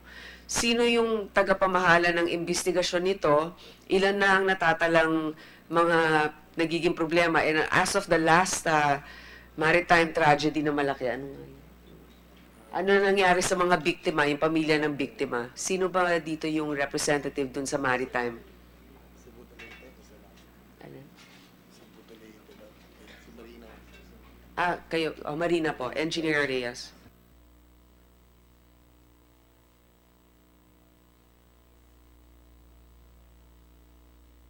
Yung, yung tanong ko, any any update on um, your efforts for maritime safety? Uh, kung may investigasyon, ano ba yung ah, narinig ba ninyo na last February merong aksidente din sa Cebu? Uh, Madam Chair, ah, yun po, ah, bali ang sa bali ang Philippine Coast Guard po ang nag-iimbestiga ng ano um, sa maritime accident. Although Marina, meron din silang ginagawang investigation but ah, Philippine Coast Guard ba dito? Ma'am. Ah, engineer. Regarding uh, accidents at sea, normally a board of marine inquiry is formed, no, para mag- Who forms, who appoints the BOI? The Coast Guard yun. Hmm. Coast Guard. Hmm. Okay. So, anong ano po yung mga reports ninyo ngayon ah, of latest accidents? Wala? Madam Chair, kasi actually uh, I'm from the Maritime Safety Service and other officer conducting investigation. So I don't have uh, ano ma'am, yung uh, update. Data. Okay, so we can see already the incompetence of our system. And not, I'm not blaming any particular department. It's just that we're so um, incoherent uh, about who's supposed to manage things like this, about data, etc. How about for air? Uh, USEC Robert Lim Kaap ba? Uh, yes, Your Honor, that would be the Civil Aviation Authority of the Philippines. There is a aircraft accident investigation board. Uh, they are manned by the personnel of CAAP and they do investigations uh, involving aircraft accident. Are you a member of that board? No, Your Honor. So- It's a purely CAAP uh, investigation board. Okay, um, yeah. Uh, Madam Chair, ta- just like, like to ask, uh, Yusek Lim, yung CAAP is the regulating body no, for all commercial, anything, anything about aviation. So, th- th- would it be better to have, di ba mas maganda ho siguro na there would be an independent body like the NTSB Yes, Your and Honor. TSCB? Yes, Your Honor. We, we, we support support? legislation Yes. that creates the NTSB. It is Yes. a independent body. In preparation for that, uh, what we have done is to take uh, administrative steps to transfer this unit in CAAB and create an office in the Department of Transportation. We are proposing an executive order for the signature of the President to create an aircraft accident investigation board so that it will be separate from that body that regulates aviation. Uh, this is in preparation for the pending bills that are now with the Senate and with Congress. Uh, USEC, yung CAAP, di ba, in charge din ba siya sa mga air traffic control? Yes, Your Honor. okay, so kung, let's say, problema ng air traffic control uh, because of their negligence, um, and it has to be investigated, it will still be CAP investigating its own, correct? Yes, Your Honor. Okay, so again, it underscores the need for an independent body. Uh, before Mr. Attorney Aguilar, uh, I think uh, Attorney Zun, Zun, Mr. Zuniga of Safety Organization would like to manifest, would like to give a comment. Eh, Good morning, Your Honor. Uh, the Safety Organization of the Philippines is involved in all aspects of safety, from from the road to the air to the sea. No? Mabalikan ko lang po yung muna dun sa land kanina po. Gusto ko lang pong malaman kung ang uh, Assembling School ay meron pong safety officer na nakatalaga. Kasi isa po yon sa requirement ng batas na bawat establishment ay mayroong safety officer depende po sa kategorya kung siya po ay hazardous, highly hazardous, or less hazardous. So sinasabi mo overall safety officer of the school? Yes po. Kailangan po may appointed sila subject po sa dami ng kanilang empleyado at ah, kung ano po ang kategorya ng, kalang, ng kanilang establishment. Schools are categorized as hazardous establishment. So they must appoint a safety officer according to their number. Ang alam ko sila ay 400 daw na ano. But they are handling about 18,000 students. So siguro dapat may safety officer sila na ang pinakamababa ay dalawa. O sige, best ito pong, ito pong safety officer, gusto ko lang po ang diretso. Ito pong safety officer dapat doon sa kanilang ah, ah, educational tour, siya po ang nagde-determine kung ano po yung lugar na pupuntahan, kung ano po yung mga hazards doon, pati po sa way na papunta po doon sa ah, lugar ng educational tour. Sana naiwasan po. At yung pong ah, isa rin po, yung sa ah, Panda, dapat meron din silang safety officer to determine po kung ano po yung mga pupuntahan nilang mga lugar. So, naiwasan po sana yon At sana po yung school, bawat bus ay meron pong in charge na head teacher. Siya po ang nag-ano doon sa, for example, siya po ang nag ah, account kung ilan po ang mga estudyante sa loob ng bus. Siya rin po ang nag-ano determine pagbalik kung yan ay kumpleto o hindi. Okay. Yun po dapat ang kanilang ano nung una. Uh, thank you for Okay. calling our attention to that. Um, Okay. After hearing from Best Link and also Attorney Peter Aguilar, I would like to hear from the Panda uh, operators or representative about the state of your vehicles. But um, let's go now to Best Link. Meron ba kayong safety compliance officer? Yes, Your Honor. Actually, we have two safety uh, officers uh, by the name of um, Jeff Carino and Jolly Miguel. Uh, if I may share, Your Honor, please, um, that was happen, yung, yung, um, yung ikikwento ko lang kung bakit nangyari yun. Kasi, yung pan, yung harana ang uh, nire-rent namin na tour bus. And then, nakasakay na yung mga estudyante sa sa bus, lahat sila sa harana. And all of the sudden, mayroong nagsabi na ah, nire-recall yung harana bus, pinatransfer doon sa panda bus yung mga bata, lahat ng bata, pinatransfer. And all of the sudden, lumabas sila na, um, nakaalis sila agad kasi may, may mga coordinator akong uh, during that day na to man that uh, trip, which is uh, yung, that was not a field trip but uh, leadership training sa Tanay uh, for three days and two nights. Oh, so there was a sudden change. So parang na-rattle yung ano at saka umalis sila agad na hindi pa naka ano yung ah, nagmamanage ng ano trip na yon yung pina, pina sudden change of ano na nakasanda nakasakay na sa Harana bus sudden change of ano Okay, na Harana. pinalipas agad. Harana, nandito po ba kayo? Bakit ninyo pinalipat yung mga bata? Ah, magandang ah, araw po, Chair at ah, Senator Joseph Ejercito. Ganito po yun, sampung bus po ang pinadala ko dahil po sa kanilang sudden change. Sila po ang nagpauwi ng bus namin dahil siyam lang daw po ang kanilang kailangan. At itong kanilang ah, activity ay hindi po field trip. Sila po ang nag-arrange at wala po kaming partisipasyon sa anumang activity po nila. Ang sa amin lang po ay nagrenta po sila ng bus. Ikaw muna, so ikaw yung Harana? Opo, ako po yung sa Harana So po. kumuha sila ng siyam na bus sa inyo? Opo, Ngayon, yung panda, pang sampu yun. sampu po yung, pin, ah, kasama na po yung panda po doon sa Siam. Ah, kasi ang Sampu po lahat yun.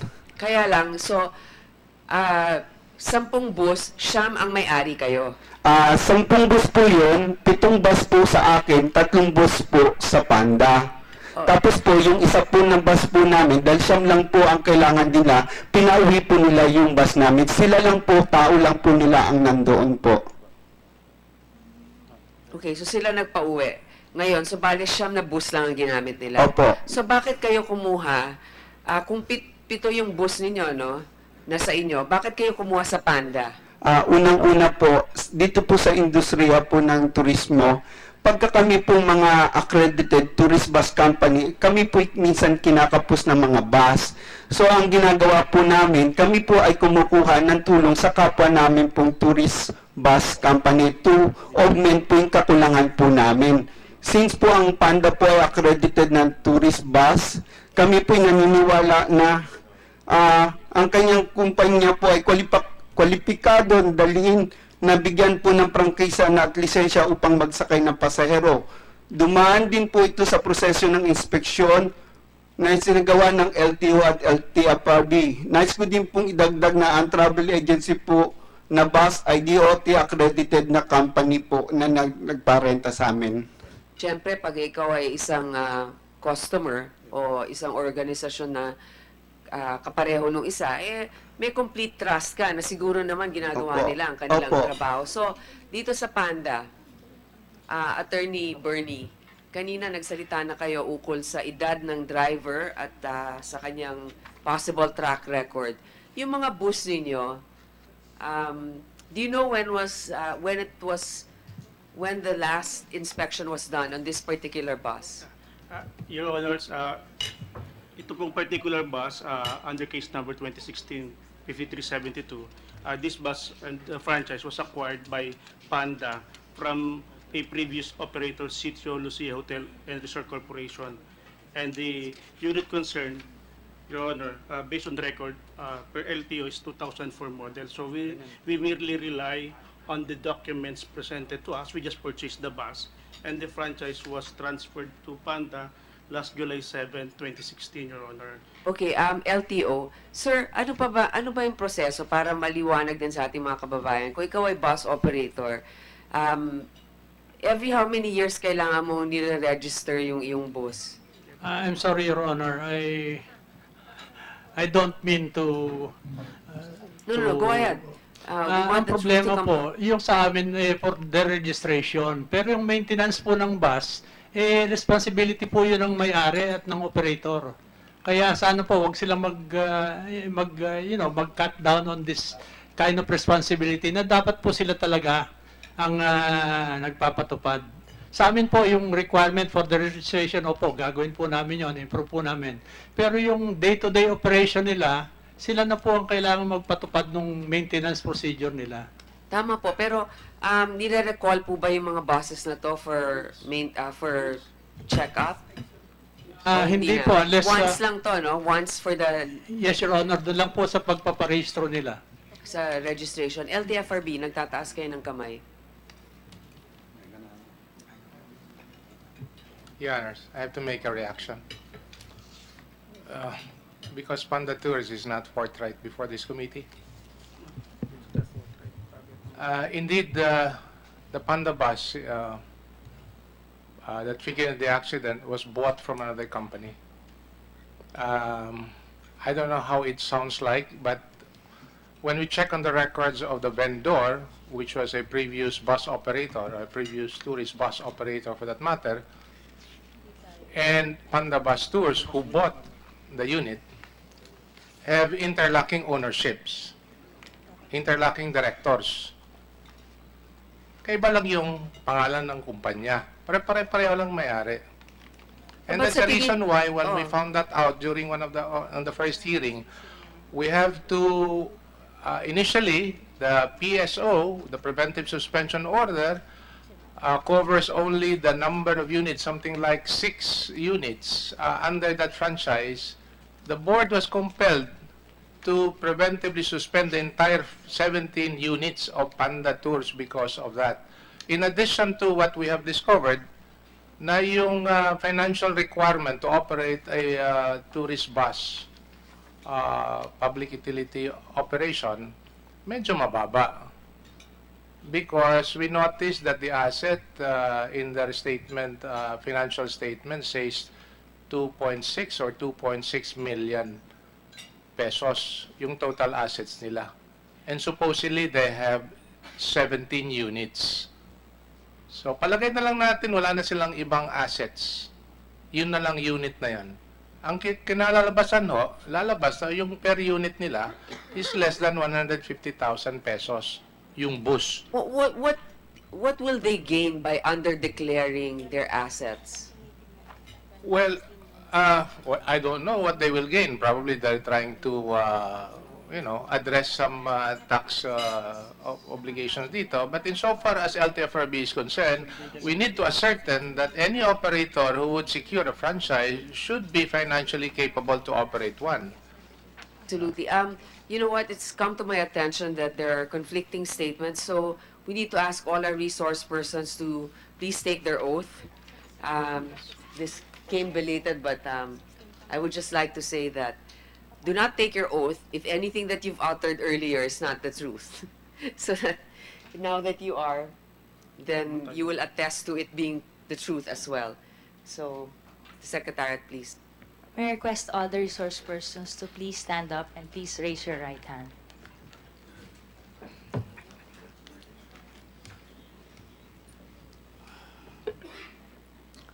Do you swear to tell the truth, the whole truth, and nothing but the truth in this proceeding, including the statements made earlier? Yes, ma'am. For the record, Madam Chair, all the resource persons affirm their oath. Thank you. So we shall now continue.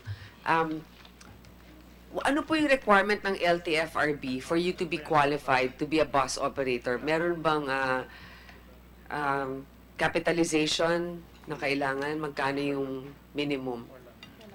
Uh, insofar as the minimum requirement is concerned, uh, there is there is nothing there as a matter of policy, but we just want to determine na insofar as operating ownership and operation of the entire public transport service that they're trying to provide should be enough to cover. Uh, I mean, it should be covered by the uh, the assets and the financial uh, standing that they have. You know. Ah, pero nung nakita nga namin, talagang may understatement at the very least insofar as the declaration of asset is concerned. Plus the fact that ah, parang nilipat lang ng isang kumpanya dun sa kabila na pareho lang ang may-ari. Bang kumpanya, kumpanya na yun na pinanggalingan ng bus, is it still operational?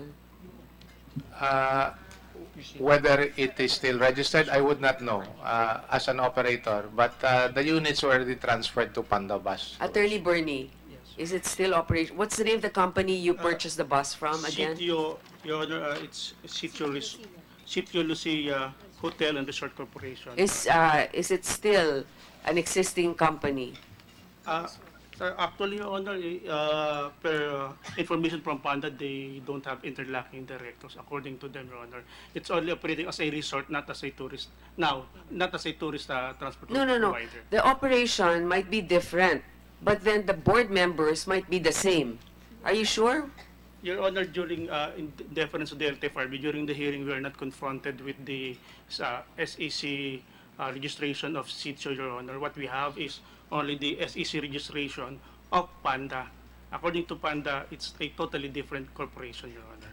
So you're just relying on the statements of Panda, but you didn't actually see the incorporators of this Santa Lucia. Yes, Your Honor, because during the hearing in the LTFRB... Then don't make an assertion Yes, that it's totally different. You say that based on what we know, based on the statements of Panda, but you cannot make that claim that they are not. Uh, Because you I'm- don't know. I'm sorry, Your Honor, but uh, as, as we stated, Your Honor, during the hearing, we were not confronted with the documents, Your Honor. Okay, then that's clear now. Um, uh, I'd like to acknowledge the presence also of Yusek uh, Frisco San Juan of MMDA, sir. Meron po kayong gusto idagdag or Eh, uh, eh, Oh, yung sa penal sa likod. kahit mamaya? Ah, sige, have your lunch first. sir. Thank you, sir. Okay, um, meron pa ba tayo? Meron pa gusto magsalita dito para magdagdag? Ah, ma'am, pakisabi po yung titulo nyo at ah, pangalan yes, po. good, it's afternoon already. Good afternoon, Madam Chair, Madam Senator. I am the legal counsel of BestLink. We just want to um, manifest or express our strong uh, denial of the statement earlier made by Mr. Tan that it was the school which sent back the bus, the Harana bus, uh, from where the students were transferred and uh, made to ride the Panda bus.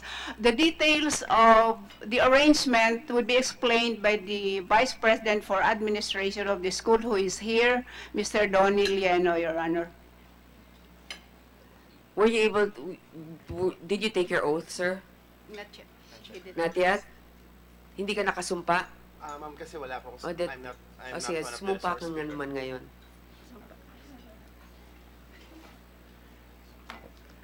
Um, please raise your right hand. I, I, please state your name, Engineer Justin Adaliano, do solemnly swear do solemnly swear that I will tell the truth, that I will tell the truth, the whole truth, and nothing but the truth in this proceeding. Thank you.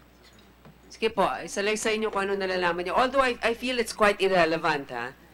Kung pinauwi man yung bus or whatever, doesn't change the fact that an accident happened, and it could be because of the makeup of the, uh, the uh, what do you call this, the, the bus itself or the driver, or the negligence of the school. It doesn't change that. So tell me exactly uh, the relevance of this and what, what happened based on your knowledge.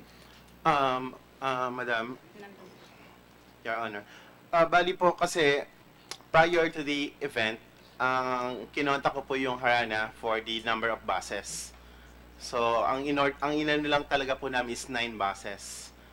So, napapunta po ako doon kasi nga may dumating na 10. Kinontak po ako ng mga coordinators kasi hindi naman po ako kasama sa trip during that time.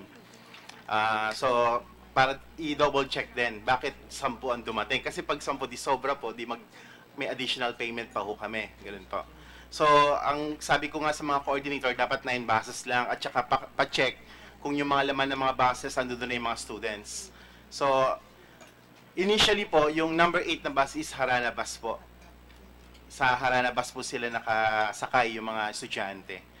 And then, during that time po, ah, s- ang aming NSTP director, si Dr. Jolly Miguel, ah, na ah, that he received a call from their, oh, yung nakausap niya po yung Joseph, yung supervising Harana A- driver. ano yung NSTP? Ah, National Ser- Ser- Service Training Program po. Okay, so sa NSTP itong Apa, activity. Siya po yung director in charge po nung activity ng field ah, ng ah, leadership training. Nasaan na siya ngayon? Nandito ba siya? Ah, wala po siya. Kasi siya dapat yung nagsasabi na bawat bus may teacher eh. Di ba? Okay, anyway, go ahead. So, yung nakausap niya po si ano, si Joseph, yung nga pong supervising Harana driver, na naka-receive siya ng call from their office that such bus was being recalled to base by management because it was to be assigned to another destination. Yung bus na po na ng Harana number 8. So, Miss Miguel decided to relay the information to me through my office na nasa ano po across the street. So, sabi ko sa kanya, i-double check. Pero pag punta niya ho uli doon, wala na po yung Harana bus, and then yung nasa Panda bus na po yung mga estudyante. So, ganun po yung nangyaring event, ma'am. That's bus 8. Pero Apa. you, you needed 9, right? So the 9th is really a panda bus as well? Pang, actually, pang sampu siyang dumating, ma'am. Sa dulo siya. Kasi Ilan ba yung naka- panda? Naka-arrange eh. Naka-arrange na po. Out of all the buses, you had to take several buses and several trips. How many panda buses were used aside from the ones, aside from the one that figured in the accident? Tatlo po, ma'am. Bali So, sila. tatlong Pangatlo panda po, bus. Pangatlo po yung panda bus Okay, actually, alam mo, I don't really see the relevance of this eh. Kung merong inatras na isang bus at nilagay, because the assumption is whatever bus you supply, it needs to be safe. And in your case naman, whoever's in charge, if it's an N- NSTP director, should have been on top of this. Should have had a person of authority in each of those buses. So anyway, I think uh, we're just going through circles here. Uh, but at least if there's anything we've learned here is we really need a, in- a National Transport Safety Board. Um, is Chairman uh, Martin, if it's in relation to what they're stated, I, what they've stated, I'll, I'll call you next. But we also have a presentation from Attorney San Luis. So is it related, uh, Chair? Meron po kayong comment Ah. dun sa sinabi? No, actually, it's uh, as a consequence of the accident, or any accident for that matter, because we just want to clarify some issues and policies regarding insurance claims when there are uh, road accidents like this. But I will defer the manifestation later. No, no, no. I think I think you're making a good point here, ah. Alam mo ang problema dito sa mga insurance natin, kaya kumikita din itong mga insurance companies na ito. Ang tagal-tagal bago makakuha ng claim. Kung ano-ano mga paperwork, meron ba tayong standard on just the basic paperwork that's needed. Because, you know what, as we are also trying to decongest our roads, we cannot possibly leave those uh, um, obstacles in the middle of the road. They should be able to take a digital photograph uh, as proof, for example. So, do we have a representative here from the insurance companies? Wala. Anyway, so that that's another matter that we need to tackle. Kasi talagang back and forth, back and forth sa lahat ng mga requirements na yung iba, although rightfully they need to claim uh, from the insurance company, sabihin nila, ako, sakit pa ng ulo to, wag na lang. Kaya kumikita yung mga insurance companies. Um, maybe maybe the the the lawyer of the the victims, you can explain to us um, from your understanding who has the liability here, or liabilities, who who's uh, responsible. Magandang ah, hapon po, ah, tanghali po, at sa lahat po ng ah, nandito. May liability po ang ah, insurance, yung pong tinatawag na compulsory third party liability.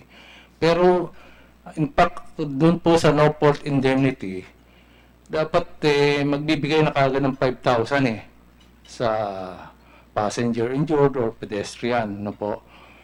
At ang requirement, alam ko, tatlo lang eh. Medical certificate, death certificate, saka yung affidavit lang, no? At police report, no? Pero mababa po yung 5,000 na yan for each accident. Meron din pang uh, alituntunin na death indemnity, no po. Pero mababa rin. Mababa rin ang binibigay ng insurance. po ba sa nangyaring insidente na to, nagbigay naman agad yung insurance nila? Ang natat so far ho, wala pang sinasabi sa akin ng mga kliyente na may lumapit na sa kanilang insurance. Generally po, eh dapat uh, nandun na yung mga insurance adjuster eh. Sila na ang nauuna kagad doon na kinakausap itong mga victims eh. Hindi kaya yung binigay ng best link na, magkano nga, 5,000 ba? 5,000 po. Baka hindi kaya yun yung galing sa insurance. Maari po kasi sabi po ng mga ng Panda, Harana at saka yung Best Link, eh nagpo-pull daw po sila ng mga fund nila eh, para pantulong eh. Pero so far, less than 20,000 naman nakukuha nila, di ba? Ganun nga po eh. Hindi po Eh, po. so paano po, attorney, um, sa inyong pagkakaalam sa batas natin, yung insurance dapat dumiretso sa mga biktima? Dapat po kasi sila, ang intention po ng compulsory third party liability, eh para tulungan yung biktima ng aksidente. Pero palagay ko po, eh sa mahabang panahon, eh hindi po natutupad yung layunin na yun ng ah, compulsory third party liability insurance eh. Sino po ba yung insurance agency dito na pinag-uusapan? Anong insurance ng Best Link? At saka, anong insurance ng Panda? Uh, Your Honor, aside from the mandatory insurance uh, required by the LTFRB, uh, we insured the bus in SCCI, Your Honor. The consortium were handling the mandatory insurance requirement of, the public utility vehicle. And also, on top of that, kumuha pa na another insurance ang Panda sa Paramount. So aside from 200 mandatory na amount na pwede makuha, may additional 50,000 pa po kami from Paramount. So magkano na yung nabigay niyo sa mga biktima? As of now, ang naibigay pa lang po sa kanila is 130 doon po sa fatalities, doon sa mga sa sa uh, injured uh, hindi pa po kami nag-claim sa insurance out of Panda's own pocket 20,000 ng nilabas. Yes, Your Honor. Um, ang naitutulong na po namin sa mga injured from Panda po mismo is 20,000 each. And then we we are open po na lahat po ng medical reimbursement nila inire-refund naman po namin. Likewise po, ina-assist po nila, namin sila sa hospitals. SCCI po kasi, uh, for the injured, they only have 20,000 but for that is for medical reimbursement, madam. Without the receipts, they won't um, reimburse it. So, Panda we've is given giving 20,000. Yes. Totoo po ba yan? Natanggap na ninyo? Opo, madam. 20,000. Okay. Um, A- Attorney Martin? The reason I, I took it up, the matter of insurance coverage, because it was an issue that we have to address during the last scheduled hearing. Um, as practice among insurance companies daw, uh, when we look at uh, indemnity for death or loss of lives, uh, it's 200,000. No? Uh, under, under the present policy, it's 200,000 per passenger. Uh, but among the documentation, uh, as in sinabi na ni Madam Chair na minsan ang daming paperworks, ayaw ho namin yan. In fact, that's the reason why uh, hinawakan na namin yung, yung issue ng insurance, uh, yung insurance claims no, to the victims, uh, to those who, fatalities and those who were injured. Now, there was one issue regarding paperworks or documentation requirements, among which was, of course, you have uh, the usual requirements of that certificate as well proof of filiation para alam natin kung sino ang bibigyan ng 200,000 na yan. But there's another one that uh, caught my attention, yung uh, receipt of burial expenses. So I have to strike it down right away. Sabi ko, pag insurance coverage for loss of life, do not talk about expenses or cost for any reimbursement. Kasi bayad yan. Hindi nga, wala nga kabayaran yung buhay ng tao. Yung 200,000 ho, you just have to prove that there somebody died and that the one who will receive is rightfully the one who will receive it. Wala na hong ibang, kung pwede, wala nang ibang requirement tungkol dyan sa Ah, pagbibigay ng sinasabi po insurance ninyo, coverage. 200,000 is regardless of Regardless other expenses. Hindi ah. Basta yun lang, they automatically are entitled to it. Because the victims, the families are saying, kinakaltasan pa raw dun sa ina-advance na mga financial assistance na So- binibigyan ng either Panda, uh, Harana, or even Bestling. Sabi ko, hindi ho pwede yan. So actually, yung Bibigay burial lahat dun sa expenses biktima. should be on top pa If of they want the to. other things that they, of, of the liability. Oh, so at least alam din ng iba yon ano. Um, that's subject for another hearing talaga is how insurance companies conduct their how, how their reimbursement policy is and also the benefits claim. Um, Attorney San Luis, please go ahead with your presentation. Uh, Good afternoon, Madam Chairperson, and uh, thank you for allowing us to present to this body today. Um, If I can... Who are you representing? Uh, Your Honor, we are a public policy advocacy um, NGO, uh, and we conducted, uh, Attorney Evita Ricafort and I conducted an institutional and legal assessment of road safety in the Philippines with uh, Undersecretary Maria Paz Luna of the DNR when we were still consultants of the Health Justice. Um, and the uh, assessment that we conducted was submitted to the World Health, World Health Organization. How long is this presentation? How many minutes? Um, Your Honor, I will just skip through the slides. Uh, yeah, we will try to adjourn slides. uh, at 1 p.m. Yes, Your Honor. Um, uh, Your Honor, just to update the data of the body, uh, in 2015, um, if we can skip uh, two slides, please. Um, next slide, please. Um, earlier, Your Honor, uh, you presented the 2015 data on road traffic uh, crashes and fatalities. Um, for 2015, the number of registered motor vehicles in the Philippines uh, is is rising. It's been rising since 2010, and uh, there has been a corresponding rise in the number of road crashes and road traffic fatalities. Next slide, please. So if you can see, Your Honor, since 2014, the number of road crashes in the Philippines on national roads has been rising sharply. Um, the most recent being 32,269 for 2016. Um, and in Metro Manila, next slide please. In Metro Manila, it show, it uh, rose sharply from 95,000 to 109,000 for 2016. As for the fatalities, Your Honor, um, in next slide please. This is again on um, again on Philippine national roads. Uh, the number of fatalities rose by more than 100% from 1,040 to 2,144.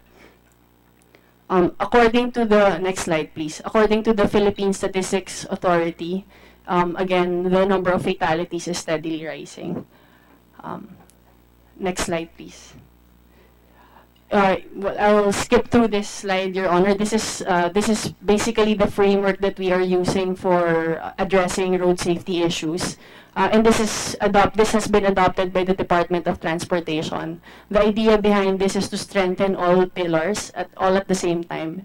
And uh, DOTR spearheaded the development of the Philippine Road Safety Action Plan. Um, we can submit, Your Honor, a copy of the Philippine Road Safety Action Plan, plan to the committee. Um, next slide, please. So these are the recommended actions of the World Health Organization. Um, again, uh, keeping in mind that mistakes do happen. Uh, this, this was mentioned by Ms. Elvira Medina earlier. Mistakes will happen. Um, they are unavoidable. Um, but the idea is to strengthen all pillars of safety in order to minimize the impact of a road crash, avoid a death or, or severe injury. So the recommended actions of the WHO is first to create a lead agency on road safety with sufficient mandate and sufficient funding. Right now, the Department of Transportation is considered the lead agency. However, they are, it has been difficult uh, for the DOTR to coordinate the actions of other agencies involved in road safety. And to give the committee an idea of how many agencies are involved, we have the DPWH, the DTI, the DepEd, the PIA, um, LTO, LTFRB. Uh, so there are really a lot of agencies that have to coordinate in order to um, have a concerted action with respect to road safety. The WHO also recommends laws on seat belts, child restraints, motorcycle helmets uh, against impaired driving with alcohol, speed limits, and vehicle safety standards. Um, to update the body, Your Honor, we already have laws on seat belts, motorcycle helmets, uh, drunk driving, speed limits. However, there are various gaps with respect to these laws. Um, today, Your Honor, we discussed extensively on the standards of the buses. Um, in fact, we do not have yet a vehicle standards law in the Philippines, and we have not adhered to any treaty on vehicle standards. We have the 1958 agreement from the World Forum on Vehicle Standards, but uh, the Philippines has not adhered to these safety standards. Um, the WHO also recommends the conduct of road safety impact assessments for new projects earlier, Engineer Swansing presented a video on the route to the Tanay bus crash, and we noticed that there were um, large vehicles parked along the road uh, they, because they were conducting road widening activities. And if road safety assessment had been conducted, then they would have uh, prepared for the parking so that they will not avoid creating, um, they, they can avoid creating additional exposure to risk to, uh, to road crashes. Um, the WHO recommends also the improved data collection for the Philippines. Right now, the DOTR is already working on what they call the drivers program, which is a computer uh, web-based uh, data collection system and it's it's actually a fantastic tool. Unfortunately, it has not been cascaded to the local government units because again, uh, it coordinating with LGUs has been difficult for the DOTR. Um, they are forced to coordinate to them on a one-by-one basis instead of uh, on a more institutionalized uh, uh, basis. Um, roads should also have uh, design standards to promote not just the safety of car passengers but also of all road users and particularly for vulnerable road users such as pedestrians and cyclists. Right now, the design standards of w WP, uh, Department of Public Works and Highways are more focused on the cars and not so much on the vulnerable road users. Um, and of course, uh, moving our our car riders to public transportation would also have an impact on the safety. Um, next slide, next slide, please. So, Your Honor, these are the major road safety laws in the Philippines. We have speed under the Land Transportation and Traffic Code. Um, we have the Anti-Drunk and Drug Driving Act, the Motorcycle Helmet Act, and the Seatbelt Use Act. Next slide, please. But we do not have a child restraints law. But, uh, Your Honor, you'll notice this is a this is actually a self-assessment conducted by the Philippine government uh, through the, the, Department of Transportation, which was published in the Global Road Safety status report of 2015. Um, if you can see, Your Honor, the enforcement level of these major road safety laws that we have is quite low. Um, on the average, it's about four. Uh, and yesterday, we had a meeting on the Philippine Road Safety Action Plan, and uh, we received some information, for instance, from the, en- the enforcers, from Attorney Oliver Tanseco of the Philippine National Police, that there is a lack of um, qualified enforcers, or we do not have adequate enforcers in the Philippines.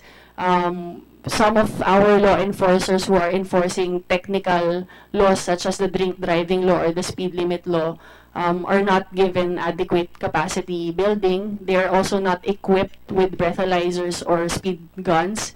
In fact, Your Honor, we conducted an assessment of speed limit enforcement in the Philippines and we discovered that in Davao they only have five speed guns. In Metro Manila, I, correct me if I'm wrong, I think they have also five speed guns. And then in Tupi, South Cotabato, they have like four speed guns. And other than that, we did not find other LGUs with their own speed guns. Next slide, please. So we have other road safety laws in the Philippines. Uh, Senator J.B. Ejer- Ejercito mentioned the Speed Limiter Act. We also recently enacted the Anti-Distracted Driving Act and the Children's Safety on Motorcycles Act. Uh, however, the uh, implementing rules and regulations have not been issued by the appropriate agency, um, and we're still waiting on that. Uh, next slide, please. Your Honor, these are these are just some of the gaps that we have identified on the laws. I will not uh, I, will not go into detail anymore. But for speed, Your Honor, which I think was a factor that uh, also contributed to the impact of the road crash in Tanay.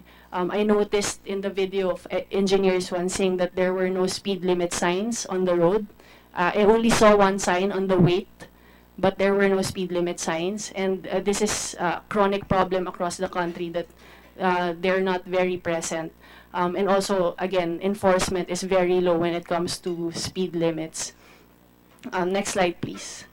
Um, for the Motorcycle Helmet Act, Your Honor, uh, the the law does not yet require proper use of helmet, and we heard um, about a month ago that uh, the House of Representatives, someone from the House of Representatives filed a bill allowing some local government units to suspend the the implementation of this law for purposes of crime reduction because of the riding in tandem issue. And we hope that uh, the Senate would um, perhaps consider that we need stricter enforcement of the Motorcycle Helmet Act and not the other way around. Um, next slide, please. Ah, sorry. Uh, for the Dr- Drunk and Drug Driving Act, the primary problem right now is, of course, the uh, lack of breathalyzers. I think we only have about 150 right now for the whole country, and the PNP is the PNP and LTO is set to acquire 2,000 more, and we have about 1,600 local government units in the country. So um, that is still not enough. Aside from that, Your Honor, in other countries we have what we call random sobriety checks, and this random sobriety checks is not allowed under the law because the law requires um, probable cause before actually apprehending a uh, driver for this law. Um, next slide, please. So these are our the, these are, are our policy recommendations to the body. First is the creation of a national road safety agency. Um, the enactment of a national speed limit law is also necessary because the classification of uh, roads under the RA 4136 or the Land Transportation and Traffic Code is no longer consistent with how the DPWH classifies our roads. The DPWH uses terms like national roads, national primary, secondary, and tertiary. However, under the RA 4136, which is a 1964 law, the classification is open roads, uh, boulevards, um, country roads. So there is a disconnect between what is happening now and what, what was in the law. So uh, perhaps that is the reason why the speed limit provisions of that law is not being implemented. Uh, next slide, please. Um, and uh, again, these are other recommendations that we have. Uh, Your Honor, I want to highlight as well, and this is uh, this has been a neglected issue in road safety, that we stood we still do not have a pre-hospital emergency care system in the Philippines. Uh, in the last Congress, uh, the House of Representatives already enacted a pre-hospital emergency care system, but the Senate uh, failed to act on the bill. It was the pre-hospital em- emergency care Pre- system. Free hospital. Pre. Pre. So yes, uh, what, what exactly is this? so the idea behind that is uh, to have first responders at the scene of the crime. So for the Tanay bus crash, um, I heard that the one of the victims tried to save their companions, and we also saw some videos wherein the bystanders were forced to enter the bus to uh, bring out some of the passengers because there were no qualified. first, first responders. uh, they came in about I think 15 minutes later pa than the so, bystanders. so we have in the country, but not in many Some areas. just some hospitals, Your Honor, Some but not all.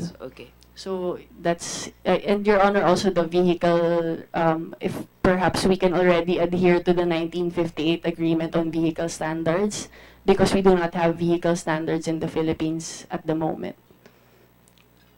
That's it, Your Honor. Can you go back to your slide where uh, all the pertinent laws regard, regarding to road safety, so I can take a snapshot of it? Ay. Uh, while you're doing that, uh, I would like to hear from. There was a request. I think uh, Attorney Peter Aguilar, you wanted to manifest something. Just to add to what uh, Engineer Dan Reyes has uh, manifested, Your Honor, insofar as sea transport, uh, investigations of uh, accidents is uh, jointly handled by PCG and Marina. Uh, under the PCG law, it has the authority to investigate uh, maritime accidents. In so with PCG law? Yes, Your Ano Honor. po Uh, yan? 1993 Philippine Coast Guard law. Ah, peace, it, okay. it has the authority to investigate um, uh, uh, As that was already mentioned by yes, but, Engineer Reyes. but Marina has a concurrent uh, authority to investigate too, Your Honor. And uh, our, our uh, stakeholders in the maritime industry is really uh, pushing for the creation of a N- NTSB so that there will be only one uh, body investigating the, the whole thing. And uh, oftentimes uh, stakeholders are facing with so many uh, investigations and conflicting results. But uh, with an NTSB, which incidentally there was an attempt before before the House of Representatives to pass uh, one chapter in the Maritime Code, uh, creating the NTFSB. So it, it's high time, Your Honor, that uh, an NTF, NTSB should be uh, created. Thank okay, you. thank you for that manifestation. In fact, uh, the NTSB will be composed of uh, members from uh, experts from the different uh, transportation group, as well as land, air, and sea. Uh, Miss LV, wait before you, before Miss LV, LTO. This is uh, not necessarily about the NTSB, but uh, they're asking, may mga nagtatanong kailan daw lalabas yung mga plates nila. Dahil binili ko yung kotse a year ago hanggang ngayon wala pa. Kala ko ba nafa-fast track na uh, USEC, ASEC, pasensya na po. Yes, Your Honor. Uh, the cases before the Supreme Court and COA remain uh, unresolved. However, we're pursuing another uh, mode of procurement. And again, uh, following the procedure, we might be able to uh, start distributing the plates uh, by end of third quarter Which court is it pending? Supreme Court, Your Honor. Supreme Court, who, who is questioning the supplier? No, Your Honor, uh, there were there are two congressmen who were uh, who filed the petition before the Supreme Court. Then uh, COA, we requested for reconsideration. Uh, we were informed that uh, they would uh, decide the case based on the ruling of Supreme Court that uh, will come out. So it's tied up because of uh, legal obstacles. But in the meantime, can't you bypass that and just get another supplier? In in fact, that's what we're doing, Your Honor. We're going But to bid- yeah, put up another bidding for uh, these plates. And so wala reg- pang bidding rin. Uh, the TOR is still being finalized, although we have already sounded off uh, possible suppliers, Your Honor. Wait a minute. So you've been there for a few months and you still haven't um, started the bidding process, ASEC? I'm not blaming you, I'm just saying LTO has not. Uh, Your Honor, we have uh, several actually activities. Uh, It's just too bad that uh, we were hoping that uh, the request for rec- reconsideration will be favorably uh, given to us. However, uh, it was not. That's why... So walang contingency. Um, so in the meantime, kung kailangan bumili ako ng sasakyan, hanggang ngayon wala pa rin ibang other source to get a plate. Wala. Your Honor, we are, uh, we have adopted the conduction sticker as the temporary uh, uh, plate. However, we are insisting that according to the law, before the vehicle can be used, it should first be registered. That's why even the processing of uh, registration has been expedited and we have uh, uh, dialogues with the car dealers uh, telling them on how we can fast track the registration, Your Honor. Okay. And uh, yeah, Go ahead. Uh, we're requesting that uh, they uh, avoid this uh, tendency of batching their uh, uh, transactions para po na-actionan kagad namin at hindi nag-aantay yung uh, bumili ng sasakyan. Pero yung lisensya mabilis na. Your Honor, yung uh, lisensya, eh, nakakapag-issue na po tayo ng 5-year license validity except pa yung card ito, card po nito, eh, eventually probably by uh, August ma-release ito. We are procuring this... Re- resibo pa rin ngayon. Yes, Your Honor. But for those uh, issued before, yung 3-year validity, lahat po ito ay nasagot na natin. Yung bago po, na start, we started issuing the 5-year validity last October. Ito po ang uh, natapos na po yung bidding, dideterminin lang namin kung sino po ang dapat ma-awardan nito. Although there are there are already cases uh, being filed against us for this uh, Alam mo, kaya nga gusto ko din ipasa yung ano, eh, emergency powers eh. For certain problems like that, which we can avoid, um, useless court uh, DROs, kaya yung mga ganon. Anyway, that, that's a subject for another hearing. Uh, the last person I will hear today, well, first of all, um, before my closing remark, I'd like to hear Miss Elvie again. Because we're, we're trying to wrap, wrap up, sorry, wrap up by one. This is a reference to the presentation a while ago. I'd like to uh, update you that all these issues, all these topics that you had pre- presented had been discussed. We had been doing an intensive discussion of all this since 2012. Yearly discussion. Uh, Engineer Swan Singh's group, which is the PGRSP, together with the IRAP, made a roads assessment program and we worked with the WHO in order to address all this. One of the big things that had been done, and your concern was the, was the lack of first responders. I'd, I'm, uh, I'm proud to tell you that because of the training programs we have done with bus drivers, we worked with um, the Red Cross so that you have now more than 2,000 first responders who are also bus drivers running in the provincial roads. So uh, these are uh, a result of the uh, frequent consultations, yearly consultations we did together with a decade of action for road safety. So uh, these are probably you can get in touch with the group of uh, Engineer Swansing, which is the PGRSP, so that you can get an update, including details of the variants of the um, vehicles that are mostly involved with uh, road accidents or road crashes. Uh, 56% of those that you reported are motorcycle accidents. So uh, that is very important, and we are taking a closer look why this is happening. One of the things that we found out is that there are modifications in the motorcycle equipment itself that compromises the safety. So that's another thing. Uh, the other thing we'd like to point out here is regarding the rights of the commuters, most especially the rights of those who are involved in accidents. The insurance and the penalties from the LTFRB and the LTO is only one part. The trauma and the mental anguish that the victims are experiencing can be subject for civil liabilities. Please take that in mind. Thank you very much, Madam Chair. Um, we're trying to finish at one, but I'd like, uh, I think there's a request from Cheryl from ADAP, Adapt. uh, a very short manifestation.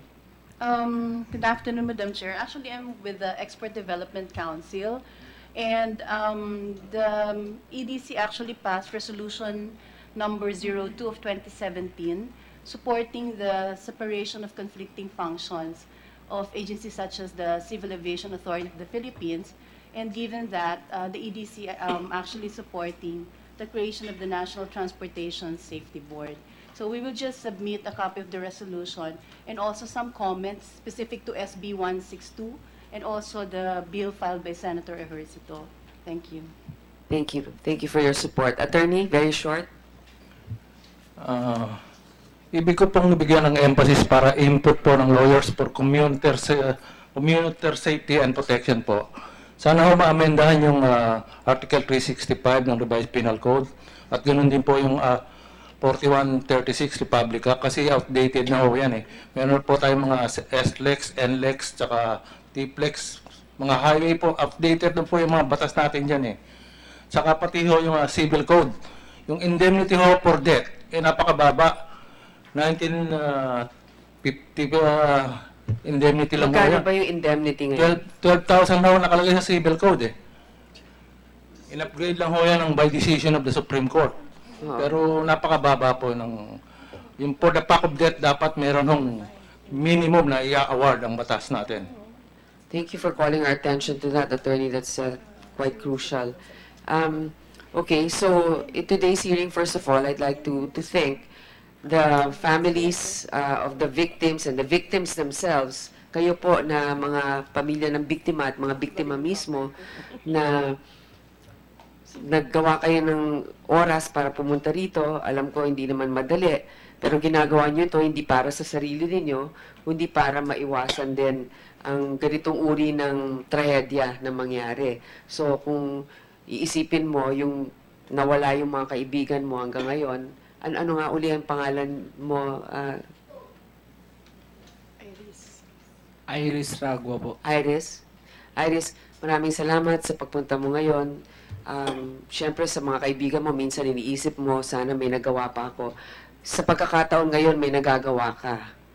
Um, dahil nandito ka at pinag-uusapan natin paano natin ah, magiging mag- magagawang mas ligtas ang ating mga karsada, ang ating mga sasakyan. So, maraming salamat, ma'am. Maraming salamat. At sa iyo rin, uh, Jenny Lynn, um, at sa lahat ng mga iba pang pamilya na naririto, thank you po. Ah, ako po ay nakikiramay sa inyong pinagdaraanan. Bestly, papaalala ko lang, ah, kasi what we really need also is ah, a community uh, helping each other to heal. It's not enough that we're going through with all the legal processes and all these technical discussions. What they need is a shoulder to cry on, a shoulder to, or, or a person or an authority from your school that will make them feel that they are not alone.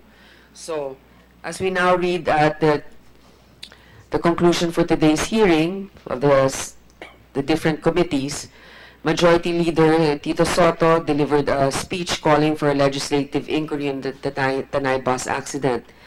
Um, it's called as a human error, but we do not go after the regulatory agencies that issued certificate of roadworthiness in public utility vehicles. Senator Soto also called for stricter implementation of the issuance of driver's licenses.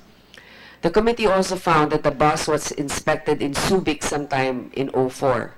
According to LTFRB, their investigation revealed that the Panda coach bus was actually 29 years old, way beyond the 15-year cap implemented by the agency on buses. Our resource persons also said they impose a 15-year age limit on buses due to lack of an alternative motor vehicle inspection service.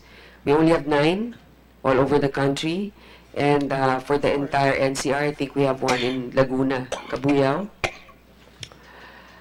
As regards to the Tanay bus crash, the LTFRB said one significant finding of their investigation was there was no skid marks on the road leading to the crash site, which was quite unusual since the road was treacherous.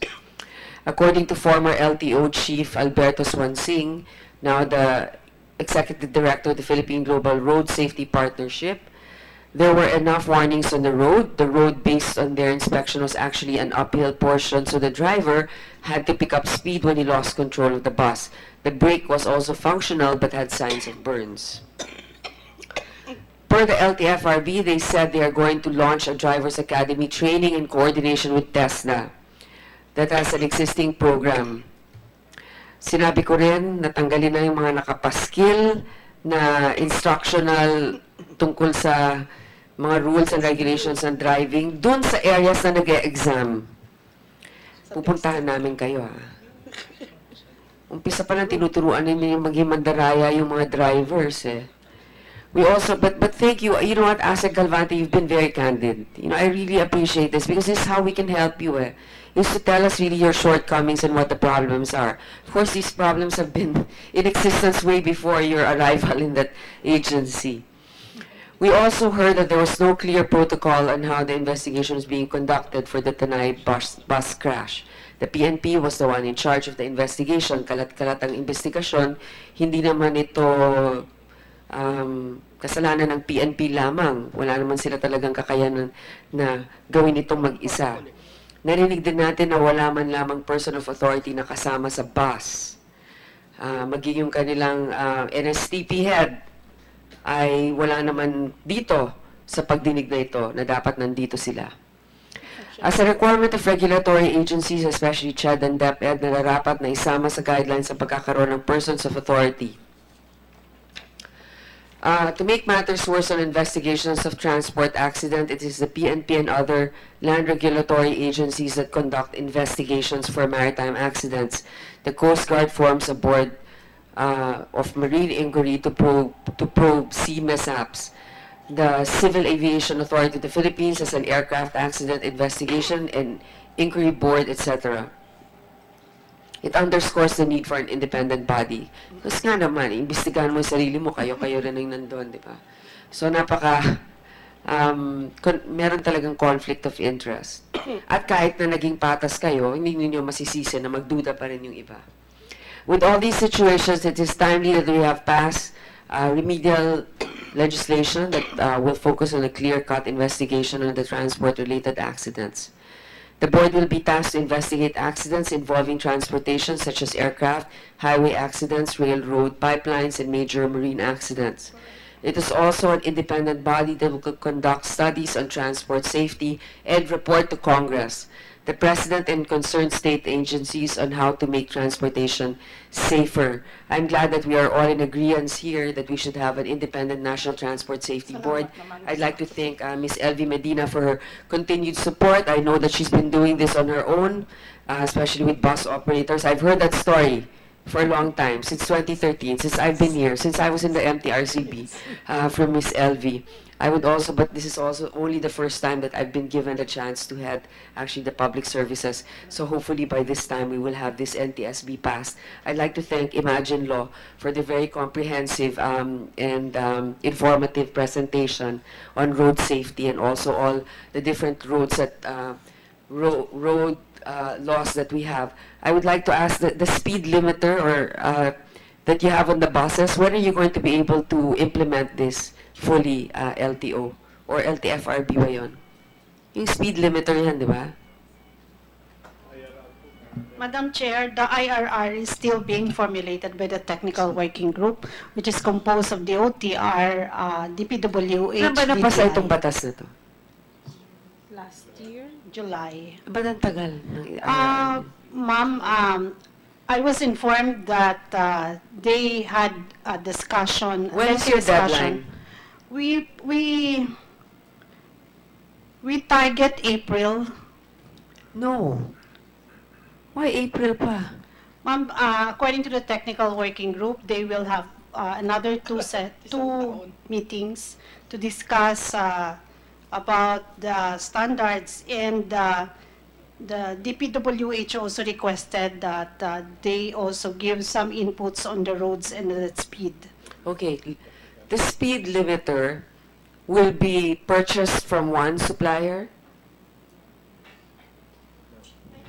Or will every bus have to be equipped with one?